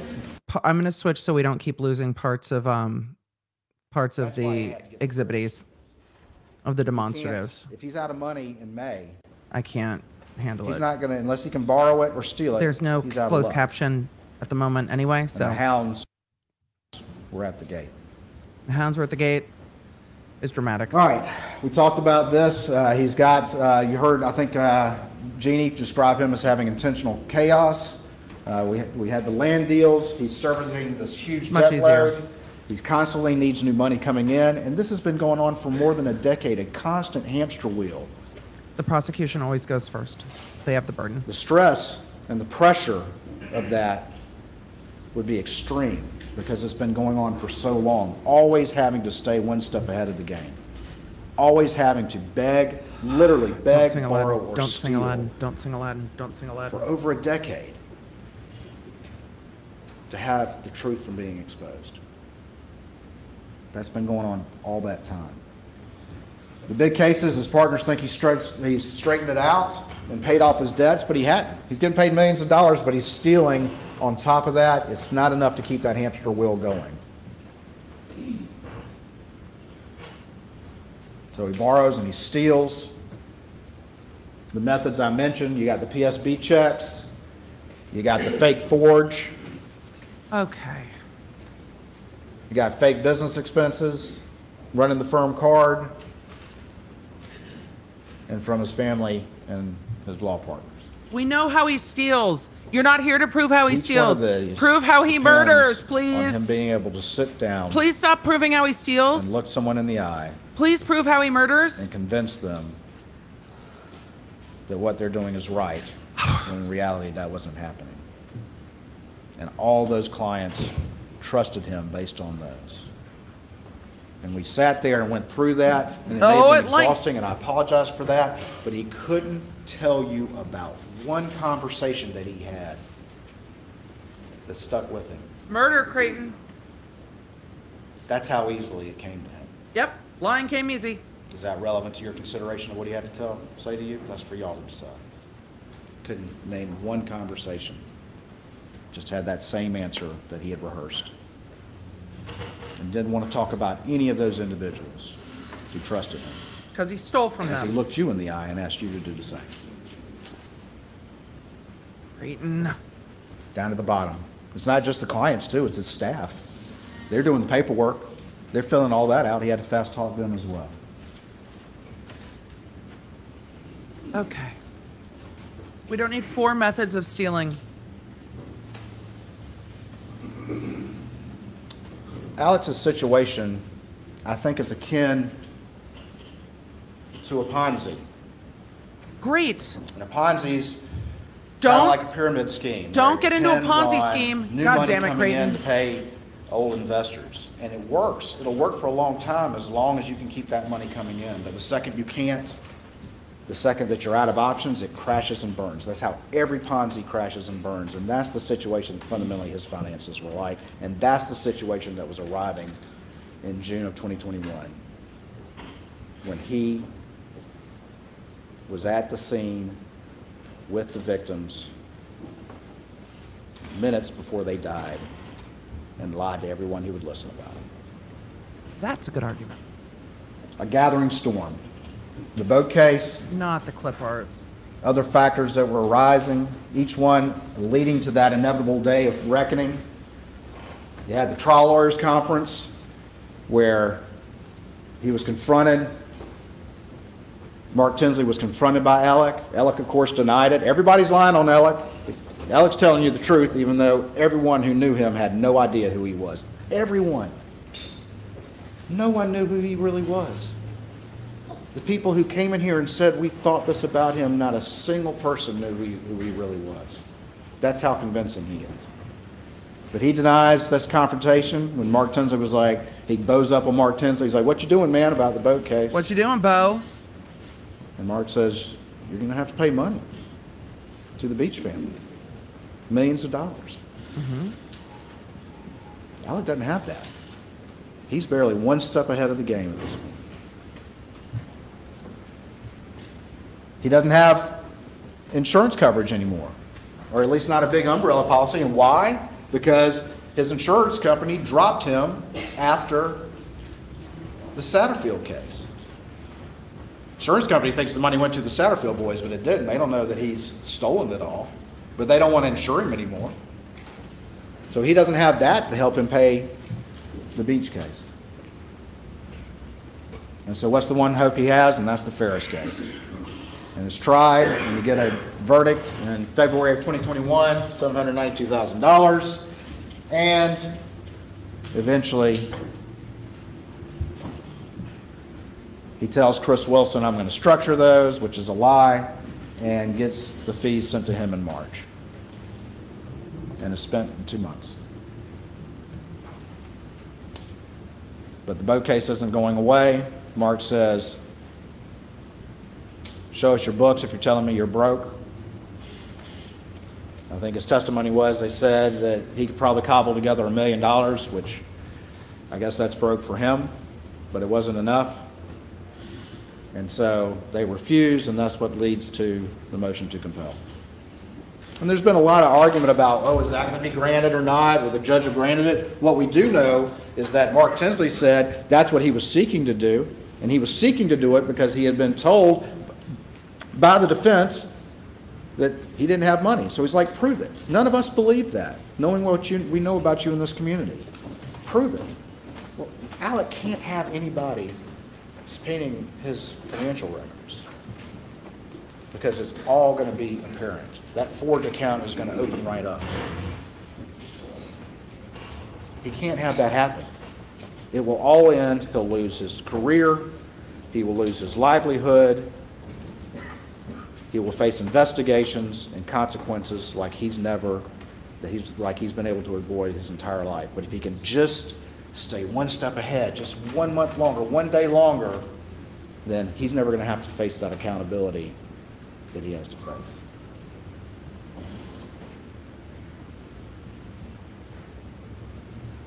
The hearing is scheduled for June 10th, 2021. And no one's here to argue to you that it's definitely going to be granted. All we're arguing to you is what the witnesses said they were intending to do. And as you've seen in court over the past six weeks, things happen and a process starts. And once that process starts, there's a conclusion to it. Okay. There's a conclusion to that. Yep.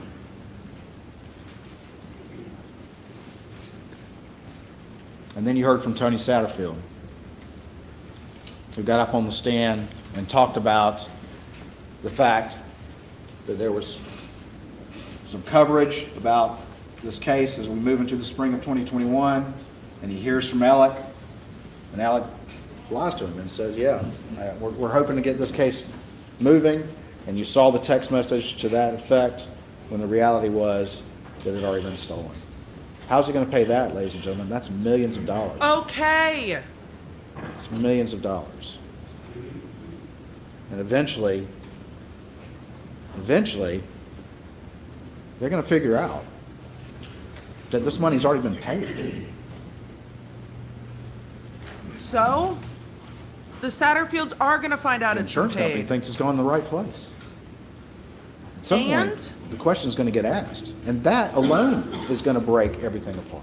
But those questions getting asked don't mean you kill your family, Creighton. Ferris case, this is when his paralegal finds the expense check and not the fee check. And I've already told you this part of the story, and y'all have heard the testimony, but it sets off that inquiry from the second juror. So now we have this, on top of everything else that we're mentioning. This is like nothing he's ever experienced. He's always been able to stay one head, step ahead of the game. But after the boat case, his appetite's increased greatly. He started stealing much millions on of dollars, and now he's Too running out of options, and all these factors are converging. In the weeds. All they're converging. And they're converging on one week, one day. Keep quoting songs. I'm going to be tempted to sing them because you have lost my interest by getting back into the weeds. His father's in the hospital. There's a confrontation with Jeannie. What is that? Alec tells her, manages to ward off the conversation by saying Mr. Randolph is terminal. Oh, my God. He, of course, denies that, so I guess Jeannie's lying on him, too. But that's what she says happened. Talk about his guilt after the He's fact. working on the boat case, Can we go back to consciousness of guilt? We were doing better. and then the tragedy happens. And it worked. It's I not think it is only the sword of reason. Damocles hanging over him, but I don't know why. That's part of the reason. Pressures on this man were unbearable, and they were all reaching a crescendo the day his wife and son were murdered by him. All on that day. And in the wake of this, everything changes. People stop asking about these things. The community has changed like you would expect. People are concerned, they're scared, they're worried. And everything's changed. The backlash from the boat case has gone away, and all of that has changed. And that's why Mark Tinsley thought his case was over. This may seem like, really? But who would understand that better than him? This is exactly the kind of work he did. His skills as a lawyer were understanding the emotional value of a case, That's understanding the good use of testimony. If you have a sympathetic plaintiff and an unsympathetic defendant, that is, in the civil world, that's a big case. But if those get reversed, if those change, if all of a sudden your defendant is more sympathetic, it changes it. It changes the entirety of what Mark Tinsley's position on this case was for the Beach family, that Alec was going to have to pay money. And that's what he told you from the stand. He said the second, I- if Alec had been the victim of some unsuspect or some random vigilante, the entirety of the case has changed. And I'm not taking the same position. I'm not trying to demand that level of recovery. Yep. That's what he said. He gets a seven fifty. Well, he gets six hundred of it. Ultimately gets a seven fifty loan. He convinces Chris Wilson. That heads off to Ferris. That's pretty much the main thing he did after this was to make sure he could get that money, enough of it to Chris Wilson so that he would send an email to the law firm saying, hey, everything's cool, I got it. It's all good. And that's what the law firm thought. It's the main thing he did in the wake of the murders of his wife and son was he made sure to stay again one step ahead of the game because he had more time now. He had time he didn't have on June 7th, but he had it now. I'm trying And to keep my head in the game. Creighton, and I'm struggling because we're so far in the weeds It's the main thing he did. that not even High School Musical can rescue my brain at this point. I know it seems like a lot, but you have to consider the unique circumstances of this particular man. This particular man who has proven over and over again that he will do anything to keep that hamster wheel going. I think he's gonna save the timeline till after lunch. They're gonna break for lunch soon. He just finally reached a point that he had never reached before. And he snapped. Why aren't we saying that? If that's what you Of course, think. the hearing on the motion to compel gets canceled. Who, who would go forward with that in the wake of what's happened? That goes away. Fair. Doesn't, I think you heard from the testimony up there, it doesn't get rescheduled till long after everything crashes and burns in September. Doesn't even get rescheduled in the wake of this. You didn't have to worry about that either, and the potential that had for exposing who he was. Because the second somebody looks at his accounts, the second his own partner, Danny Henderson, looks at his accounts as, in representing him and says, well, let me see him, he can't do that. He can't do that. He can't even show them to his own partner. Because what's going to happen? They're going to see it too. He can't let that happen. Or everything falls apart. And he loses everything, including that legacy that you heard from individuals up there is so important to him, more important than anything. I'm not going to go through all of this, but this is the timeline. You're And- not- And you can see as we, Oh, I'll let good. y'all look Okay. at that. Financial timeline. Yeah, fuck that. How this Murder develops, timeline. how this hamster wheel. I thought he was gonna zoom, zoom through the murder one timeline. Ahead of the game. You know, we've talked about the Redbeard and the Zero United. Those are the land deals that went bad. They get charged off. They zoom. Palmetto State Bank, you know, still dealing with him. He Zoom. then Yeet. Done. appoints Russell Laffitte a conservator and borrows up to $1 million from the Plyler girls' accounts without their knowledge.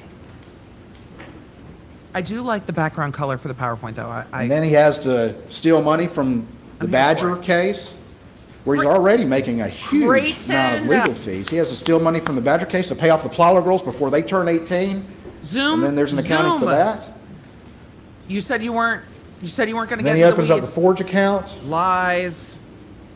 and it continues. Fake forge. Three hundred thirty-eight thousand yeah, from yeah. Dion Martin. Johnny Bush, Manuel Sanders, and Richard, two twenty-five. He's maxing out a million dollar line of credit. You're maxing out my patience. The only way to stay afloat is to beg, borrow, and steal. He's maxing out a million dollar line of credit. He steals some more money, but I'm he's not right going to get into where it. he was. He re- he read every March of single point. 2018, he's now maxed out not only a million dollar line of credit, but also a. Here it all $600,000 line of credit. Uh, not A the financial fraud like timeline. The murder timeline. Then the boat crash happens, and look what happens to the figures. 3.7 million, 1.1 million, $1 million. Side note: Look how clear it is when you have a shit ton of evidence. Look, look how clear. Look how clear. And then you have Real easy to connect the dots. He's just highlighting to the jury where it's hard to connect the dots. He said he wasn't going to read the whole timeline, and he is. Stop it, Creighton. Murder. This is uh, some of the exhibits. Holy This shit. is, uh, as you recall, there'll be statements, and there are in Ladies and gentlemen of the jury, this the is what evidence we have. Assets on June 7th, 2021. We live in the the weeds. reds are his liabilities. That one's green, but it's negative. And then over here, that's where he was. He has said this A couple four months later, he different borrowed ways. seven hundred fifty thousand dollars. We And know. still ended up They three know. hundred and forty-seven thousand dollars in the hole, which part of that had to cover. I think it was called the most generous overdraft policy ever conceived. Yep. I mean, in fairness though, he did get a five dollar overdraft charge right there, That was funny. so, anyway. At the time that it happened, it's not funny. All right, what else do we have? Because we've talked about a lot of things about the finances, and I know that there's been a lot of that, but it's really the only way to understand all the things that were affecting this middle-aged, outwardly successful professional man The way he says middle aged, I feel attacked. like no one had ever seen. Well, we've got the pills.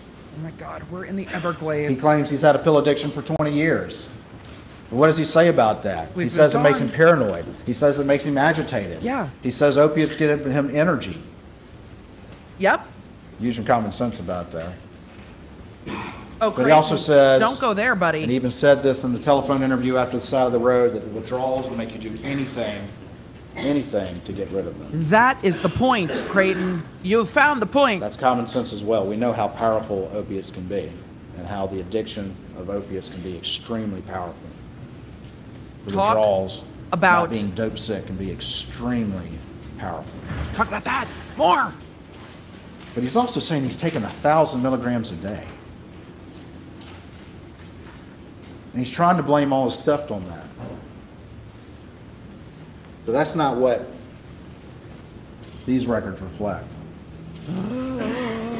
They reflect an insatiable desire for money and a hamster wheel that's been going on for a long time. And you don't really see the escalation from his drug dealer until March of 2021. Oh, the money to cousin Eddie. I would ask you also, one of the, the tenets of juries is common sense. That's what you're here for, is for an individual and then a collective common sense. I don't think Creighton's Common ever heard of sense, a thousand milligrams a day, does that sound survivable?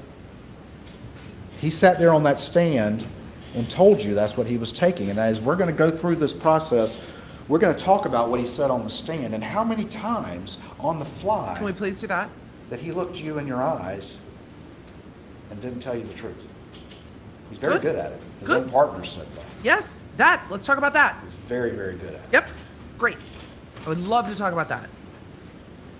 I'll leave it to you to decide whether Can we be done with this part by lunch? survivable with opiates. So after lunch, we can talk about murder. And if you, if it was, that you could still engage in work, have a successful practice, and then on top of that, engage in these complex conspiracies to steal Functioning addicts and fool everyone. are a whole And thing. live a life and have people outwardly think that you're, uh, you know, who, you- who you profess to be in public. It's almost like addiction If you were taking a thousand milligrams a day.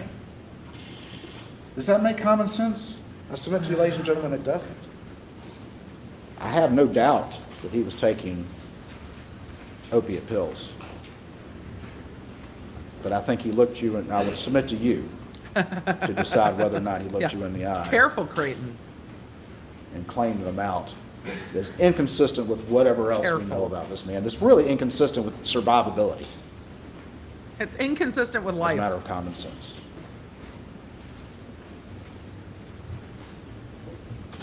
He can never function at the level he's been functioning, keeping up with these pressures, staying one step ahead for over a decade if he was taking that much dope. I would submit to you. Just one other lie that I would submit to you as a lie that he's trying to get you He to keeps saying, I would submit to you because he can't vouch. As if the Which is dope proper was the cause of the money and the cause of his issues, when the reality is, it wasn't. This has been going on for a long time. He's and basing the this off of prove Alex's different. testimony.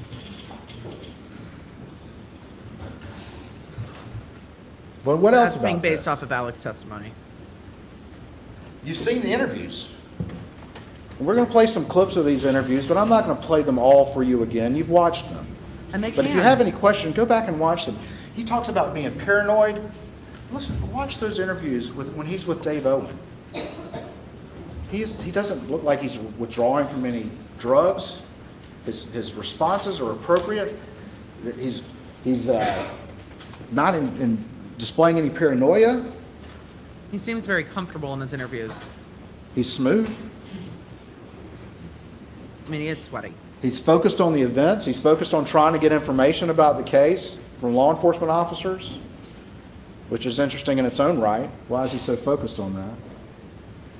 And in Savannah, where supposedly he was detoxing, he sat down, as you've heard the testimony, with a composite, composite sketch artist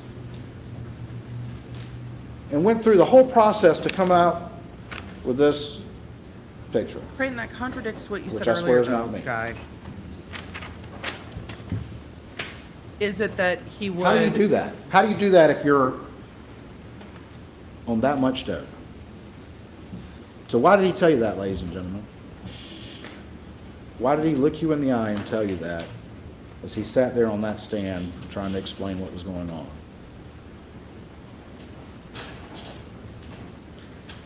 It's interesting also that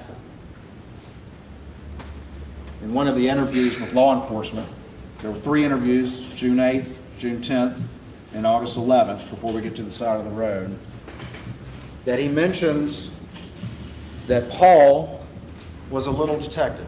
That's very interesting for him to mention that, because you heard from Marian. Proctor, Maggie's sister, that Maggie called Paul that, the little detective, specifically in reference to Paul paying attention and trying to keep Alec from taking pills. Yeah, Why would he bring that up?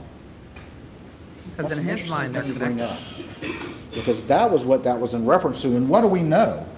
We know that in May, if we talk about all the pressures that are coming upon him, all these financial things that we've talked about, this exhausting hamster wheel that's been going on forever, the need to beg, borrow, and steal, stay one step ahead, and he's running out of options there. On top of that, we know in May that Paul sends a text to him saying, Mom found some pills, we need to talk. Yes, this is much more helpful. Mom found some pills and we need to talk.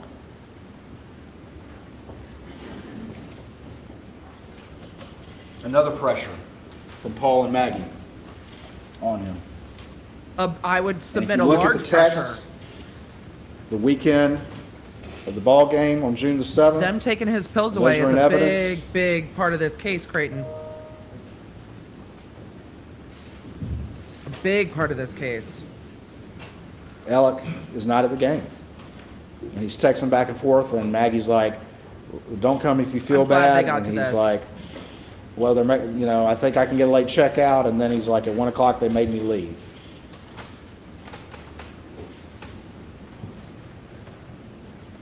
I submit to you, it's a reasonable inference they were on him at this time. They were watching him like a hawk.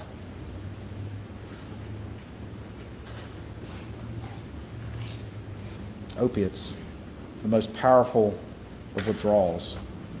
And everything's coming to a head, including this as well. Run out of money, running out of options, doesn't get paid in any significant way until December. Already stole the Ferris fees and spent that money in two months. Has an expensive pill habit, and accountability and consequences will do undo everything in his life, everything that is his self identity, everything, the only things that he cares about. Legacy, He doesn't prominence, care. wealth. about lying to his partners and his family and his friends and his clients if it will delay accountability for him. He'll do it in a heartbeat. And all of that is about to be undone. Your Honor, now's a good time to break for lunch. Yes, sir, Your Honor. Yep. You can All see the look. Ladies and gentlemen, we'll take one hour and 15 minutes for lunch. Please do not discuss the case. One hour and 15 minutes puts us back here at just about 1.20 p.m. Central. I'll wait till the judge says it, but that's when I'll be back. We're going to talk about the beginning of these closing arguments and answer some questions, and we're going to take a lunch break and be back here. these attorneys Ah, get to do today that they haven't in the past is weave all Blah. Stop. Let's. I want to see the judge say what time. That cut away way too fast. Okay. Um. We'll be back. At what time, Your Honor? Be in recess, one hour and 15 minutes. All the attorneys are looking at their watches. All right. So that puts us here around what, 115? That's right, 120. Yes, I think that's right. That puts us here at 120. Um all right. So if that puts us back at one if court's back at 120 central, I'll be back at 115 central. So we have a few minutes to chat. Let's chat about this closing and answer some questions and then take a lunch break. So far, I feel, well, let's do that first. Hold on, hold on. Let's let's gloss. Wait. Let's gloss. We're gonna gloss. And then we're gonna and then we're gonna swoop. And then we're gonna talk about the beginning of these closings. let's do that. I don't know if we're in the first half of Creighton Waters closing or not because we're resuming after lunch. What I do know is Creighton said, I'll keep this brief and talking about the financials, and then did anything but keep it brief. He is knee deep in a PowerPoint talking about the gathering storm that was facing Alec Murdaugh. And I personally, in my opinion, think that he went too deep into the financial crimes. I thought he was doing very well to talk about um, he fluidly looked people in the eye and lied. He stole from his clients and doesn't even remember the conversations because it was so easy for him to lie and steal from them. Then um then to get into the fact that he was lying to his whole family, he was about to be exposed. Everything was about to come to a head. Great. There was pressure. Great. That's the gathering storm. But also to get into the fact that that gathering storm included um, Mark Tinsley. Fine. But then when they get knee deep into the woods of fake Forge and real Forge and this client and that client, I think it is too much in depth. The jurors know that he was stealing. Put up the amount of money. His bank accounts were at this. The amount he was stealing was this. And he was ramping up how many much he was stealing. And then his family's on him like a hawk with the opioids and getting into Paul being the little detective. We saw him talking about that right at the end before lunch. We are not done with closings getting into them um, monitoring his pills, him going into withdrawals with her at the baseball game the day before the murders, and tying that back around, I think is very helpful. a little too deep in the weeds on the financial for me. I think he needed to keep it brief. The jury knows how capable he is of lying, how fluidly he lies. Accountability at the door, I think, is a good theme of the case because we saw it. The state is arguing accountability with the finances, everything's coming to light. He's going to be shamed in front of his family when this comes to light. He hasn't tied that together yet, but he's going to be shamed in front of his family when all this comes to light. And he knew it was coming to light. So on the seventh, he took their lives.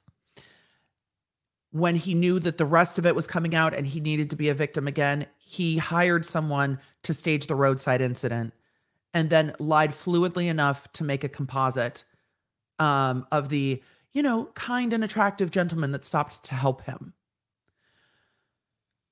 He lies as easy as breathing. Fine. The opioids are crashing down upon him. Fine.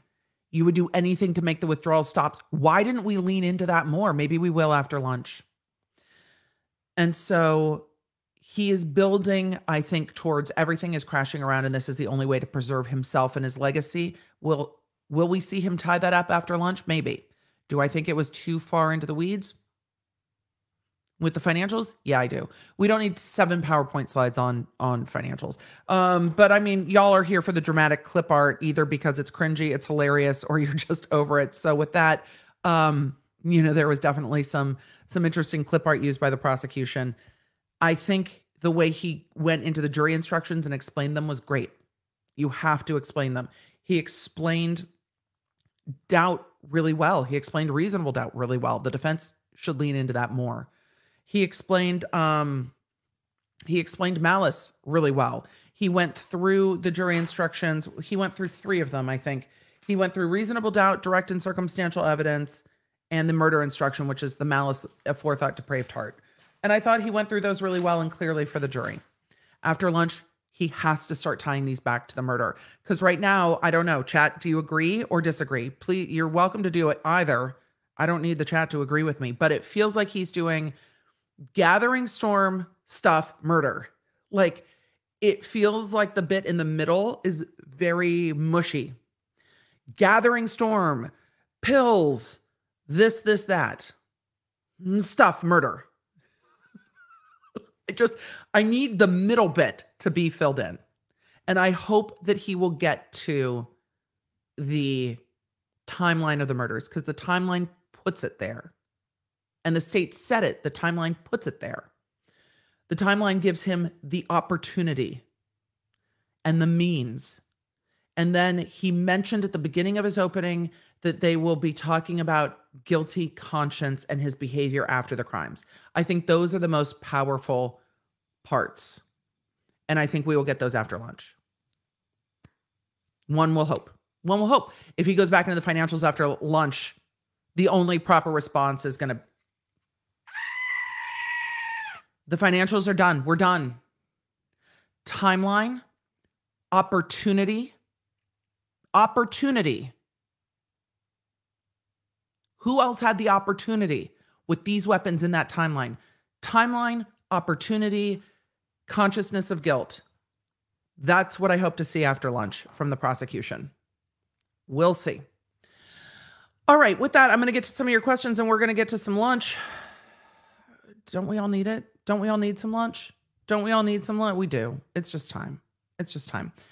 Um, Brienne said if he can come back and pound away at the murders, then he was just waiting for lunch to keep them attentive. Yeah, and maybe knowing that he didn't want that part to get broken up.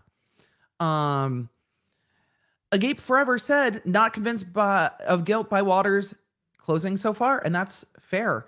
Remember, here's the here's how closing go. Prosecution goes first. They carry the burden. He said they welcome the burden. They carry the burden of proof. They go first. Then the defense, then the prosecution. I generally, as a personal matter of drama and intrigue, saved some of the fiery bits for the rebuttal because the rebuttal is the last thing they will hear before they go deliberate from the attorneys. So some of the the drama, if you will, the fiery bits the murderer, that stuff, rebuttal. I don't think he's going to scream murderer. Um, but you know, the drama. The this person sitting in this courtroom, ladies and gentlemen, this is the person who did the thing. But drama. All right, some questions. Oh, wait, wait, wait. I didn't do it. We didn't fact around. Also, y'all don't forget to like and subscribe and do the YouTubey things and engage. We're here that to do that. But also, we are trying to bump.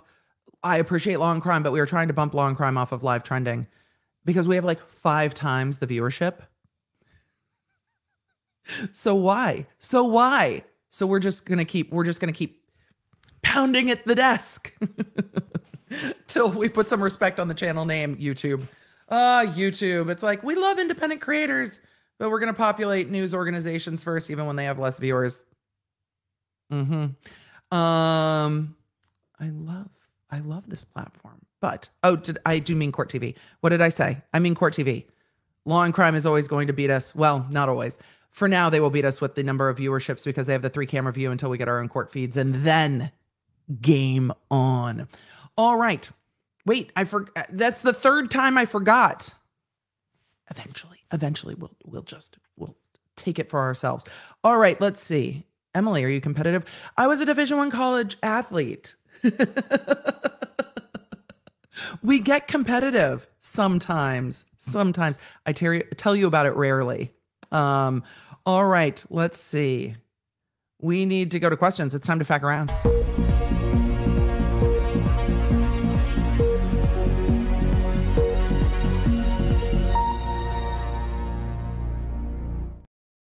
Lisa asking the important questions. Will the jury have counseling available after the verdict? It depends on the jurisdiction. I very much hope so. This case makes me incredibly sad thinking that Maggie and Paul will not get justice. Um, I'm sure the jurors will be left with sadness as well. This is going to be heavy for the jurors. And just from my own lived experience, there are things you can't unsee. And the jurors cannot unsee what they have been through in this trial. They have taken six weeks out of their lives away from work. They have had to see unthinkable crime scene photos. I can viscerally understand what those crime scene photos are like or, or are like. Um, viscerally see what those crime scene photos are like uh, just based on my own my own cases um they should they should um get some kind of a support i don't know if the jurisdiction will offer it i hope that they do this is a lot for them and processing it is a lot um that is true of all of all uh that have to deal with the criminal system it is it yeah, it is. Shelby G said, What do you think Ronnie meant when he said he saw terrible things the court hasn't seen? I've been thinking about that so much. Um, he was at the crime scene afterwards trying to clean, help clean up. And so, viscerally being at the crime scene, viscerally seeing uh, uh, biological material the blood, the smell, um, just from being at autopsies. It, sometimes it's not the visuals, but the smells that are so visceral that stay with you and and don't always go away in your memory. So I think what Ronnie was saying is that when he was at that crime scene, the things that he saw, pictures aren't to compare. The pictures are awful, but the pictures aren't to compare to what he experienced trying to go into that feed room after the murders and clean it up. And that um that is what it is. So let us let us go. Um Les, the sequel, said, spent the entire trial with you. Happy to spend closing arguments with you today, which is my birthday. Happy birthday for all the law nerds in the chat whose birthday it is. Happy birthday. And to all the law nerds who gifted memberships, I saw so many of you do that. We will have to add a special members only stream, like a trial decompression stream. So thank you to all of you um, that gifted memberships today as well. I saw so many of you do that. Um, I'm 20 in my mind. That's fantastic. When they said Maggie faced her killer, I knew it was someone she knew. If it was a stranger, you would run. Uh, she was probably pleading to someone she knew or trying to process what she had seen with Paul. I don't disagree. Carissa said, Did Alec try cases in front of the very judge he sits before now? I have no idea. It's a good question. I would guess not. Um, because this judge, I believe, normally sits outside of this county. So I would I would guess not. Um, because I think most judges, there had been judges in this case that recused themselves because they knew Alec from his trial practice, and I imagine um that that's not the case, but I don't know for sure. That's just my supposition. Courtney said today is my sort of 31st birthday. Leap year baby. happy happy 7th birthday, Courtney. I'm celebrating with some cake and coffee for breakfast. Appreciate you. Cheers. And next year you'll get to have your birthday on your birthday, I think. Christy said fur baby is getting a tooth pulled today. Lots of the fur babies at the vets today. Um, my my 43 year old BFF is at the end of treatment options for pancreatic cancer. I'm sorry. Just found out this morning. Prayers are needed, plead. Um, Natha, prayers are sent. The Law Nerd community is here to wrap you in hugs. That is a very hard day. Um, Snickerdoodle said, I celebrated my 49th birthday on Monday with y'all. My twins will be 16 this Friday. Best birthday present ever. Oh, 16 year olds.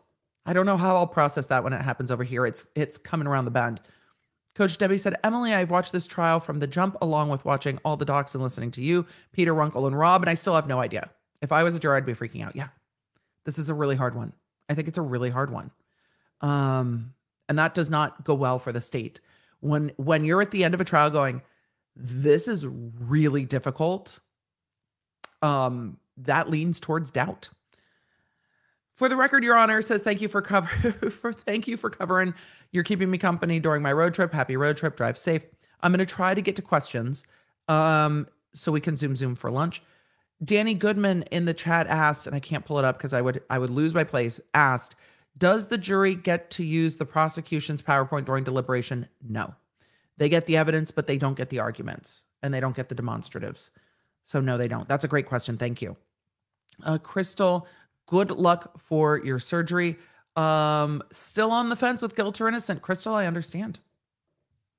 And at the end of closings, we'll have that conversation again, hopefully at the end of today. Elephant Shoe said taking the first step today with assessment for potential ADHD diagnosis for my son. Nervous, but a sense of relief. Don't be nervous. Knowledge is power. The more you know, the better. Oh, the more you know is better. It's a good thing. The more you know, don't be nervous. It's good things. So it's good to know.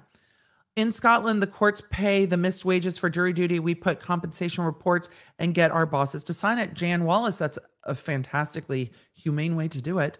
Um, our court system, in a lot of ways, does not feel like it takes into account the human element of how hard it is to come in contact with our court system as as a victim, as a defendant, as a juror, as a lawyers. It is a big system and is a confusing system and it is not an easy system.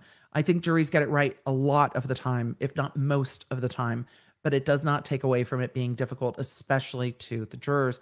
Um, is Alex shackled in the courtroom? I have not seen anything that indicates he's still shackled well in the courtroom. Um, Xana, happy birthday. Can I get a shout out anytime, please? Malachi, happy birthday. Happy 11th birthday. That is how old G is. Um, Healthy Mama said, I heard on another lawyer thread, email said one of the jurors told coworker they didn't think he was guilty. Probably speculation. Did it come from Reddit? Because that happened during the last uh, trial we covered in Brooks too. If if a juror was removed, they would talk about it. Has anyone discussed why Alex was the chosen son and not Randy Randolph? Thanks for all you do. No, I haven't heard that. Uh, but we know from um, John Marvin that he was proud to not be a lawyer in the family. I think there's more going on in the family than we've heard in this trial. Rob in the fast lane said, How about when they hear place the 911 call, you can hear dogs barking, but AM isn't crying while the line rings? It's a very fair point. I don't know if um, if the prosecution will bring it up at all or if the jury will notice it. So, uh, questions. TX Carey said lying alibi only for time needed equals knowledge. Only guns missing were caliber used, no blood. He washed up, Bubba put away.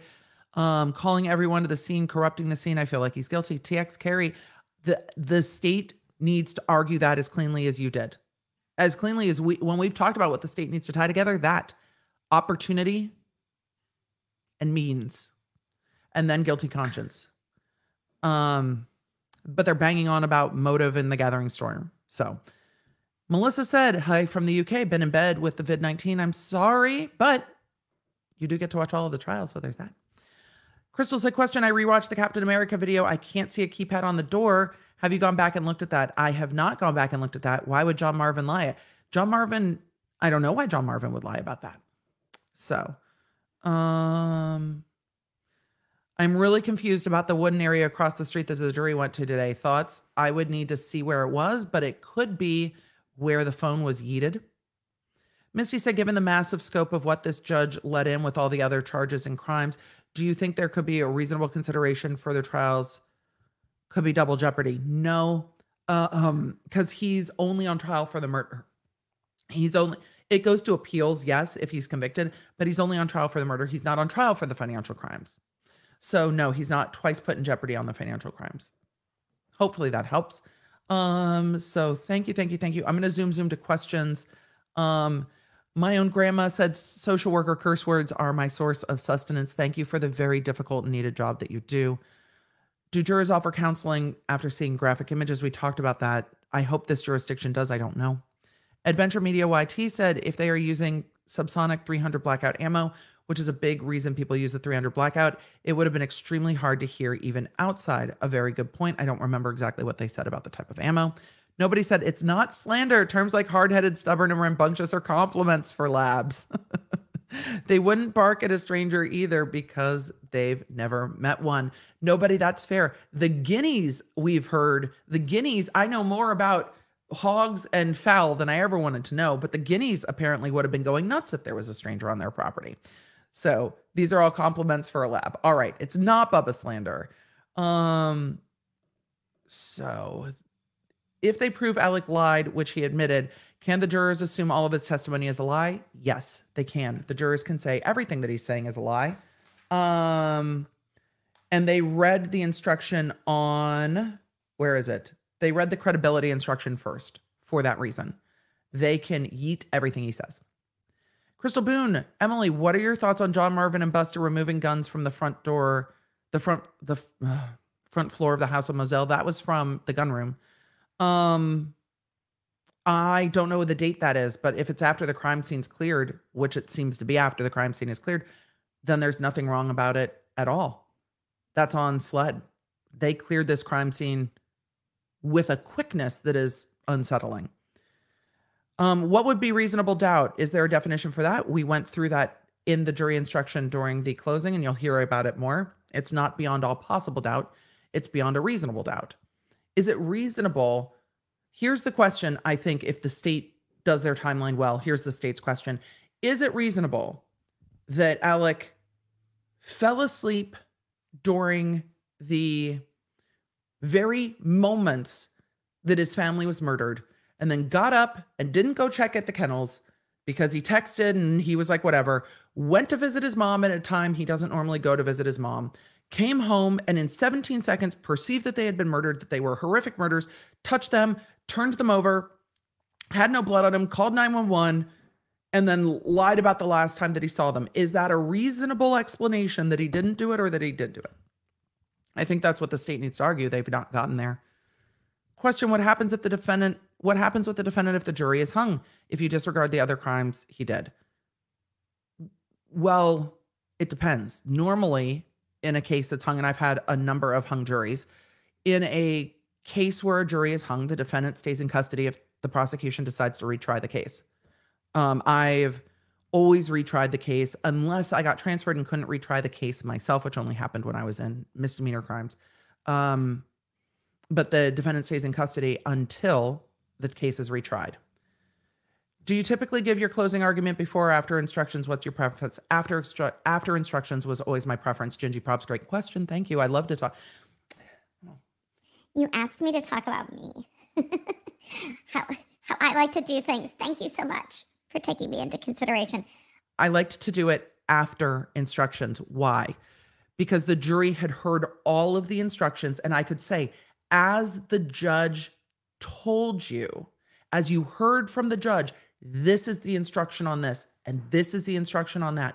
But then one of the last things that the jury hears before they go to deliberate is not an hour of instructions, it's me in my rebuttal.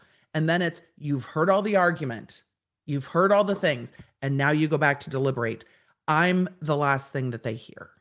I also hated having to do closing after lunch. Somebody said, Erica said, question, D1 athlete. Emily, I know you wouldn't tell by looking at me anymore. I played water polo um, at the University of Massachusetts because I'm five seven.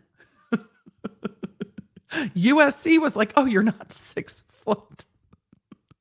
UCLA was like, you short and kind of slow. UMass was like, oh my God, nobody here grew up playing water polo, but we have a division one team. so, you know, uh, but I loved it. I got to play with uh, water polo players from all over the world, and I'm glad I got the opportunity to do it. Um, it's a very different college experience until I got hurt, but that's all in my TED Talk. Can the lawyers object during closing if they don't agree with what's being said? No. Only if it misstates, only if it misstates the evidence or the testimony or the law. Only if it misstates one of those three. Um, yes, my brother also played water polo, but he's like a national champion from UCLA. he's also like six four. Look, I got genetically wrong. No, that's not true. I'm much chattier than he is. Um, we got the gifts that were appropriate for both of us. Mine was not height. And I also have very short arms whole set was not the thing for my arms are too short to play division one water polo. I'm very lucky that i got to. I'm not like Brenda Villa great. I did get to play again. I could i will be i have to eat. I can't i have to stop talking about water polo. Um pat mcgann in the chat yes i did to answer your question. Lauren taylor how much of your personal opinion influenced how you handled a case? Obviously you want to be objective but i'm not sure that's easy. Um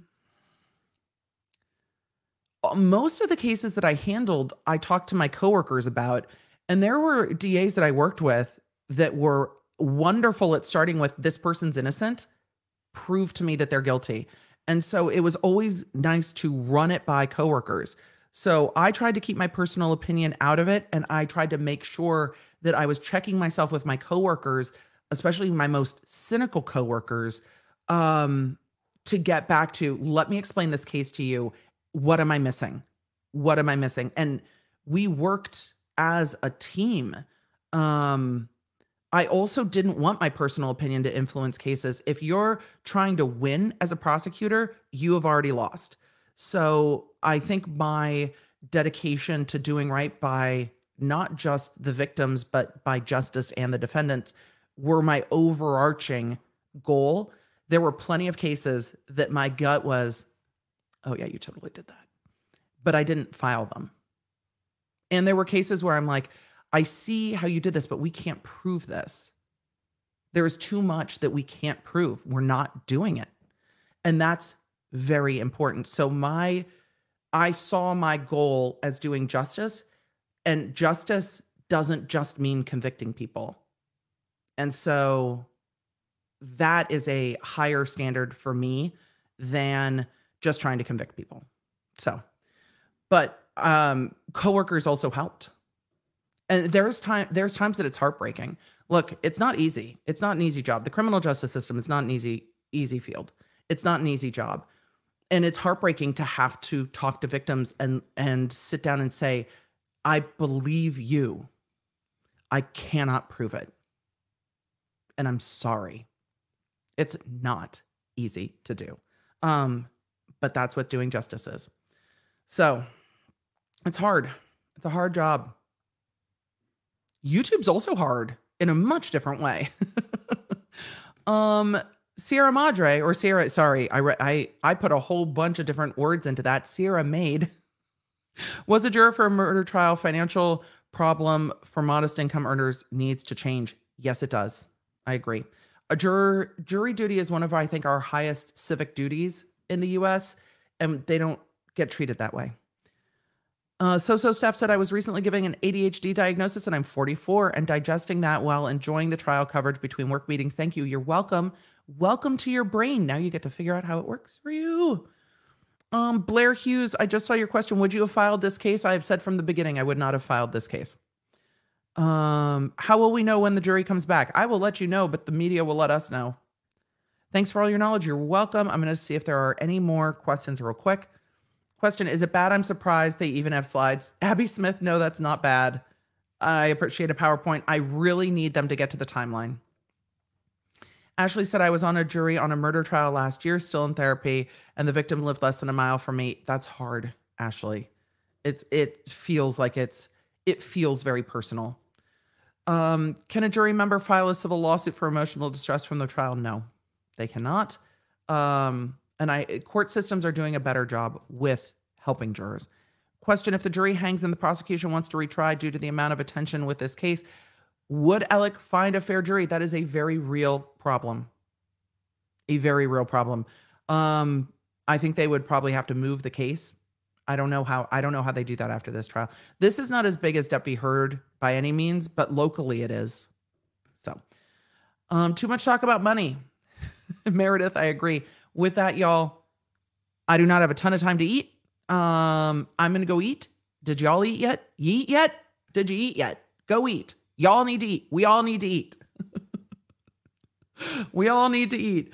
Um, Callie said, hated going after lunch. You and Poot are so similar. Oh, there are there are definitely similarities for me and Poot. Kelly, I agree. Poot's always like, can we just break for the day, Your Honor? Me, always me, always me, always want more time, always needed more time, always wanted more time to wrap my brain around something. And Poot's very much like, oh, Your Honor, it seems like we're at the end of this day. Me, always, always me. Can we just be done now? Me since I was a kid. Me, like with our water polo coach, they're like, oh, we got five more minutes. It's like, yeah, but it's Friday and we need to not smell like chlorine before we go party. So could we please be done? Always. All right. With that, if you didn't eat yet, go eat. Stay hydrated, law nerds. We'll be back. You can go hop over to the chat. Don't forget to hit notifications over there. We're riding through. We're riding through closing arguments. I have a sinking suspicion. I'm going to go put up a poll on the other live. Go vote. I'm going to go put up a poll in the afternoon's uh, video about whether or not closing arguments will finish today. I have a sinking suspicion we live here now. All right. And with that, I will see you after lunch. You can find all the Law Nerd goodies at lawnerdshop.com. Connect with me on social media at the Emily D. Baker. And don't forget to check out my podcasts, The Emily Show, and the new podcast, Quick Bits, summarizing everything I talk about on my Tuesday and Thursday live streams. You know, when you only have time for just the quick bits.